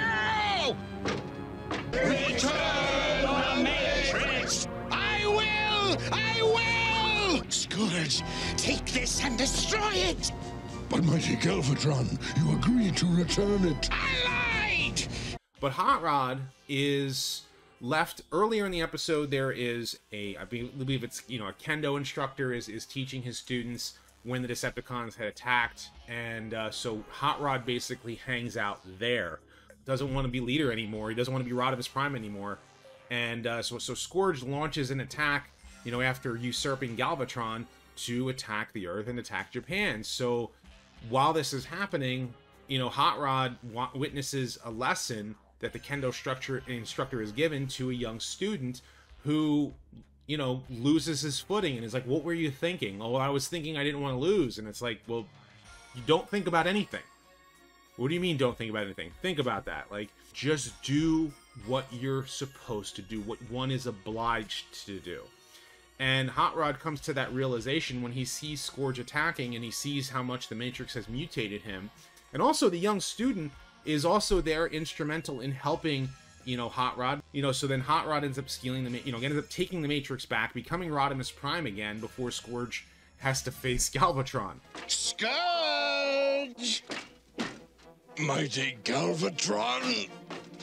Oh, no! Galvatron you don't understand! Understand what? It wasn't my fault. It was the matrix the Matrix. And this too is the fault of the Matrix. At the end of the episode, the best lesson there was it's not just the Matrix, it's I've also regained that part of myself. And I think about that, about that particular line in the episode towards the end where he finally realizes, like, I must take on my responsibilities. Well, son of a gun. Found that missing part, huh? Not just the Matrix Kup, A missing part of myself. I've had a lot of experiences happen in my in my life. You know, I worked in in corporate uh, you know businesses before and had to deal with that leadership and wanted to quit. And here I am, I'm a father and a husband, and I need to make sure that my family is taken care of and I have that burden of responsibility. And sometimes I wish I can go back to the days when I was like in my early 20s. How do you feel, Roddy? Strong enough to go after him? I'm still me, you're still you. Matrix, Matrix. Hot Rod, listen to what you're saying. I know exactly what I'm saying. Life is not that simple. Life gives you a lot of challenges, but you need to keep moving forward. And what you are, you know, obliged to do you need to step up and do it, and you can do it, and it's not too late, and you can succeed. And that is why Burden Hardest to Bear resonates for me as my favorite G1 cartoon episode. So, thank you. Episode 94 The Return of Optimus Prime Part 1. I've done it! Optimus Prime lives! It's true. Our leader is back. Yes, Skylynx. This time, no. Wait, didn't he die? Like twice? So yeah, basically this entire episode is a massive continuity error. Because you know, last time we saw him, he blew up. He didn't have an arm, and he was missing half of his face. And did I forget to mention he blew up? Yet in this new episode, Optimus Prime is shown completely intact, albeit dead, but still.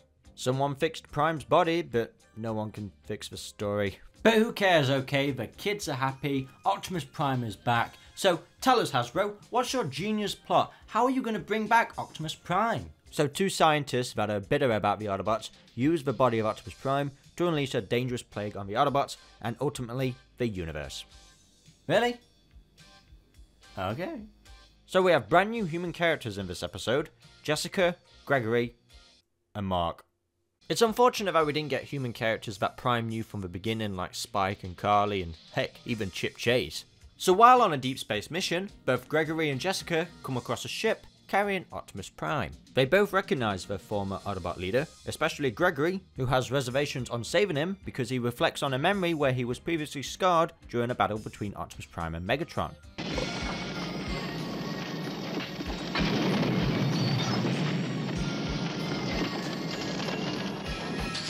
Prime did this to me. This is his fault.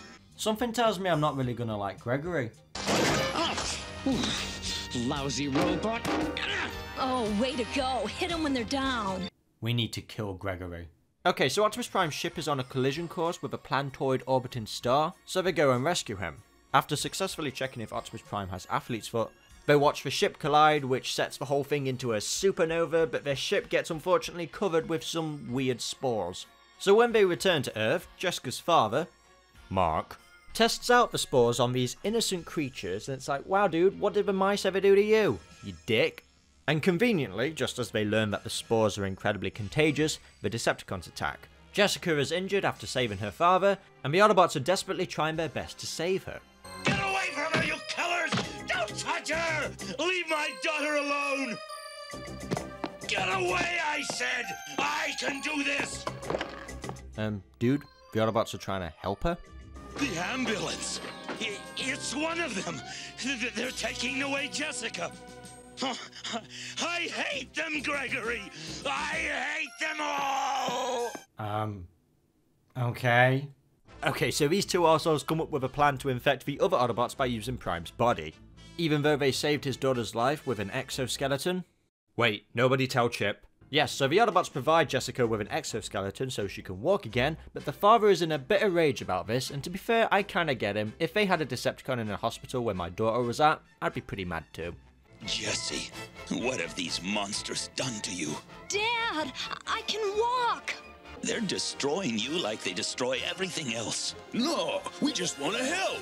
They timed that so right with the exoskeleton and the music in the background.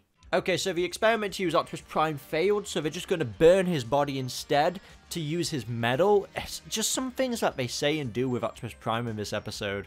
Like, I can't imagine kids watching this and enjoying it because they keep teasing Optimus Prime dying, even though this is his return. Yeah, so this new trio, it just reminds me of the Bot Kids. They're just eerily similar to each other. So Jessica saves Optimus Prime from becoming a crisp, and now I'm conflicted if I want to be buried or cremated, because this right here is not giving me a lot of confidence to be cremated, because look how Optimus Prime just comes out of there.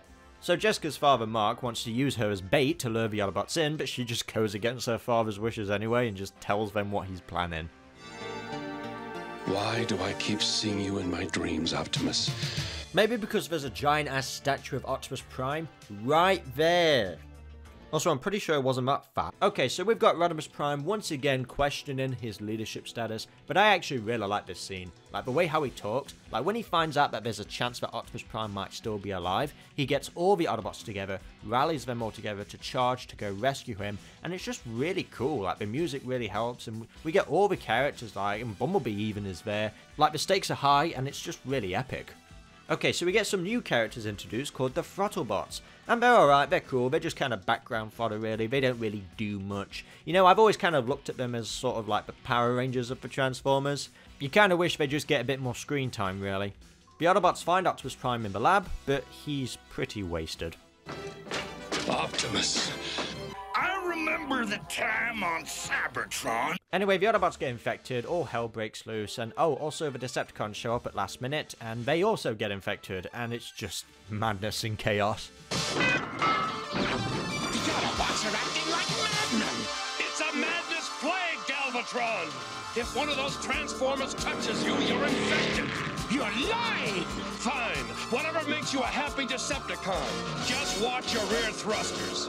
They've all gone mad! This is no place for me! The irony in that line.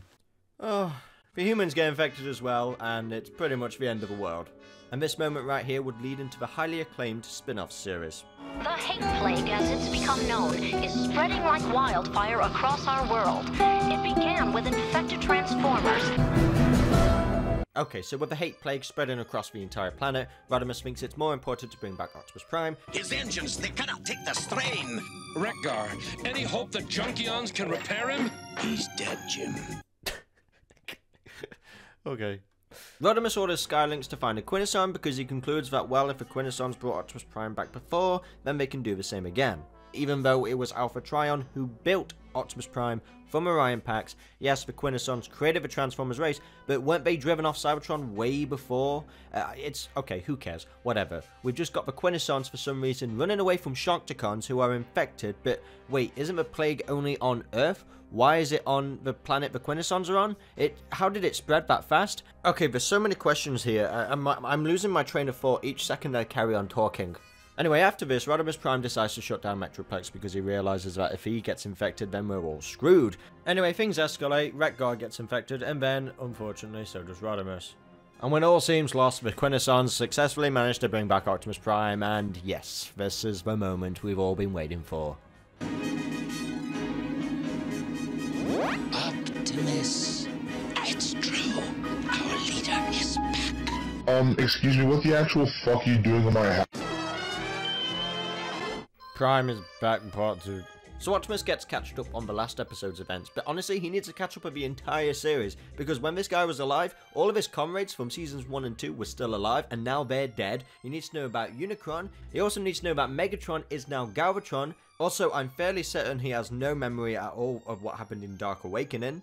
Like, oh yeah, you were also a zombie and you tried to murder everyone. Seriously, if I just woke up from this, I would have some serious questions. I mean, I don't know, I think he'd be pretty mad at Rodimus Prime. Vector Sigma, give me back that fucking Matrix immediately. You've run this organization right out of the fucking ground, Hot Rod. I tried to do my best. If you would let Ultra Magnus have the Matrix like I had intended, then we wouldn't be in this mess now, would we? No, we wouldn't, Optimus, sir. The best you can do is bring me back to life to fix your problems. It's probably the best move as leader that you've ever made. By all accounts, this is one of the better looking animated episodes, and this is the last episode animated by Toei. Now, they would return to animate the exclusive Japanese sequel series, Headmasters, but when it comes to the last episode, with the American cartoon, they did a really good job. Everyone's pretty much shinier, all the character models are on point, and with this being a season finale, they really went all out. Okay, so not all Autobots were infected, some were just badly damaged, and this goes for Bumblebee, who was reformatted into Goldbug by the Quintesson. I mean, I guess he looks friendly. I mean, sure, why not? I can't say I really have an opinion on Goldbug. He just exists. He's there. That's just something they wanted to do for the toys, and this series is almost over, and at this point I really couldn't care. I just simply look at it as like Bumblebee went from being a bee to a wasp. Gold wasp? Uh, gold mug? Uh, whatever. Okay, so this is amazing. We've got Optimus Prime back. We've got the goat. So tell us, Optimus, how are we going to fight back? How are we going to stop this plague? How are we going to save the world? What's the plan? I have no plan. We just do what they want. How are we gonna live with ourselves? From here, the fight will be your own. Wow. So Prime's useless. Okay, so the only answer that can be found is through the Matrix, and unfortunately, Rodimus Prime has the Matrix. But Jessica comes up with an idea on how Optimus Prime can get the Matrix without being infected. I believe I have the answer. It cannot be. Chip Chase, is that you? Now we transition to Galvatron, where he's being attacked by the Decepticons. So the Autobots need the metal that he stole in part 1 so they can create a shield for Optimus Prime so he doesn't get infected with the hate plague. And somehow Optimus Prime manages to convince him to join him. And this is where the episode really shines for me. These two working together, we get some really good banter between the two. I've explained it to you. You told me it was important, but you didn't tell me why. That's because I know you too well, Galvatron. Now, I really like the Chaar segment. The Autobots have to go through some obstacles, and Galvatron is just enjoying their torture. We've got a giant ass spider. Oh my! It looks like I was wrong. Autobots can't fly. I was ready to help, but I knew you didn't need me. Come along. I. Love you, Galvatron, you sadistic, purple, horny man. After killing off some worms, they finally get to the metal, but unfortunately, the other Autobots get infected, Jessica gets infected, and in turn, infects Galvatron. I find it kind of weird how they just leave Jessica on Chaar. I mean, she touches Skylink, so shouldn't he be infected? Or whatever. Anyway, Optimus Prime embraces his Ultra Magnus shell and takes on Rodimus. It's pretty much just a game of tug of war. There's nothing really memorable about the choreography, really. It's just like watching your siblings fight. You have no soul. That is why I have no fear. In order to find a cure for the hate plague, Optimus must travel deep within the Matrix and talk to the ancient Autobot leaders. This place is essentially a senior care home. He first speaks with Alpha Trion, but he needs to go deeper and talks to a creature called It. No, seriously, that's his name on TF Wiki. I love how it's pretty much just Peter Cullen's voice, but they've just pitched it up to a high level. Like you can tell this is Peter Cullen, it's like he's just talking to himself.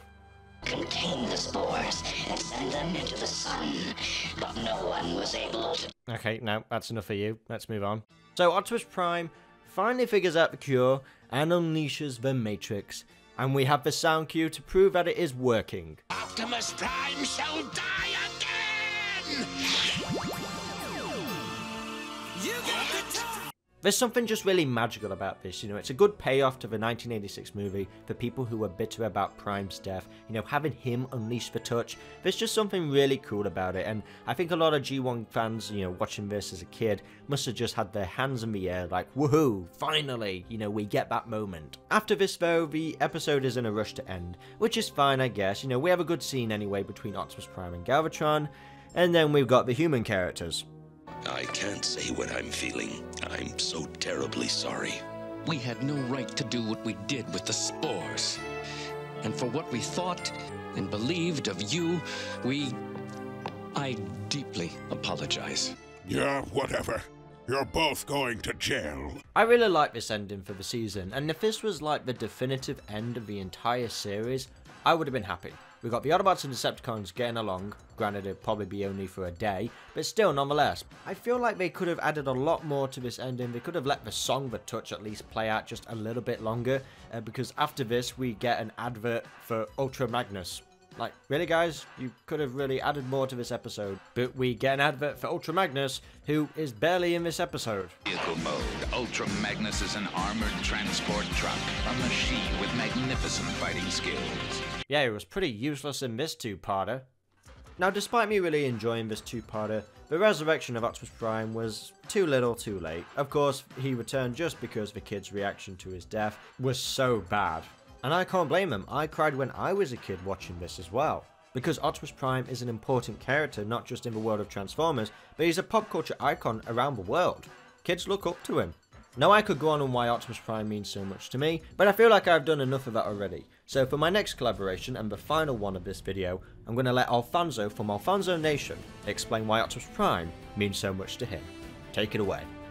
Hey, what's up, Cam? Alfonso here of the Alfonso Nation. Alright, since we're talking about G1 goodness, I gotta talk about the center of it all, and my favorite character of all time, Optimus Prime. This entire series was the birth of this incredible character, and it was voiced by, at the time, a legend in the making, Peter Cullen. And his influence and example literally altered the course of the collective story as it should. One of the ways G1 Prime uh, stands out unique in this series is his relatability with not only other Cybertronians, but humans as well. He's personable, he's humble, he's gracious, he's approachable, but he's also aggressive, and he's wise, and he's consistent, and he's bold, when it matters most. The ability to reason with other enemy characters like Galvatron, putting aside the differences for the greater good. The reason this means so much to me is because these exact same characteristics created a precedent and it extended beyond this show. This show was the beginning of it, but it created this this standard for Optimus Prime. And there's even really powerful messages like The wisdom of the ages, it's lost. No, not lost. We're all a little wiser now. It's up to all of us to fill it again. With the wisdom we accumulate from this moment on. That's my boy, man. That's my boy. Even a Decepticon like Galvatron literally confessed. There will be no war today, Optimus Prime. You have earned Galvatron's respect. And honestly, I can't say I blame him. I am my Optimus Prime, if you couldn't tell, and this show was the beginning of it, and because of that, we are where we are today. Thanks, Cam and everybody. Alfonso signing out.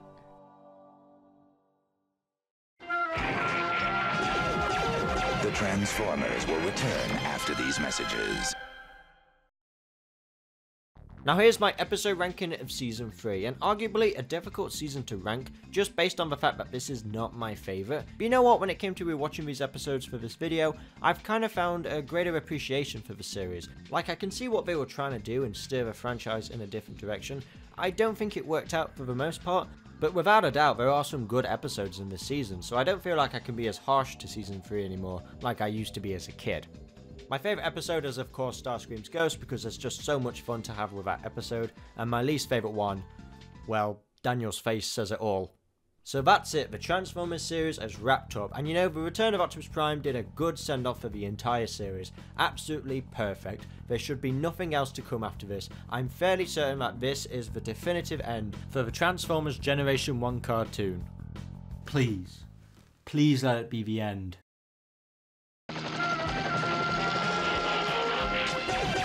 We now return to the Transformers.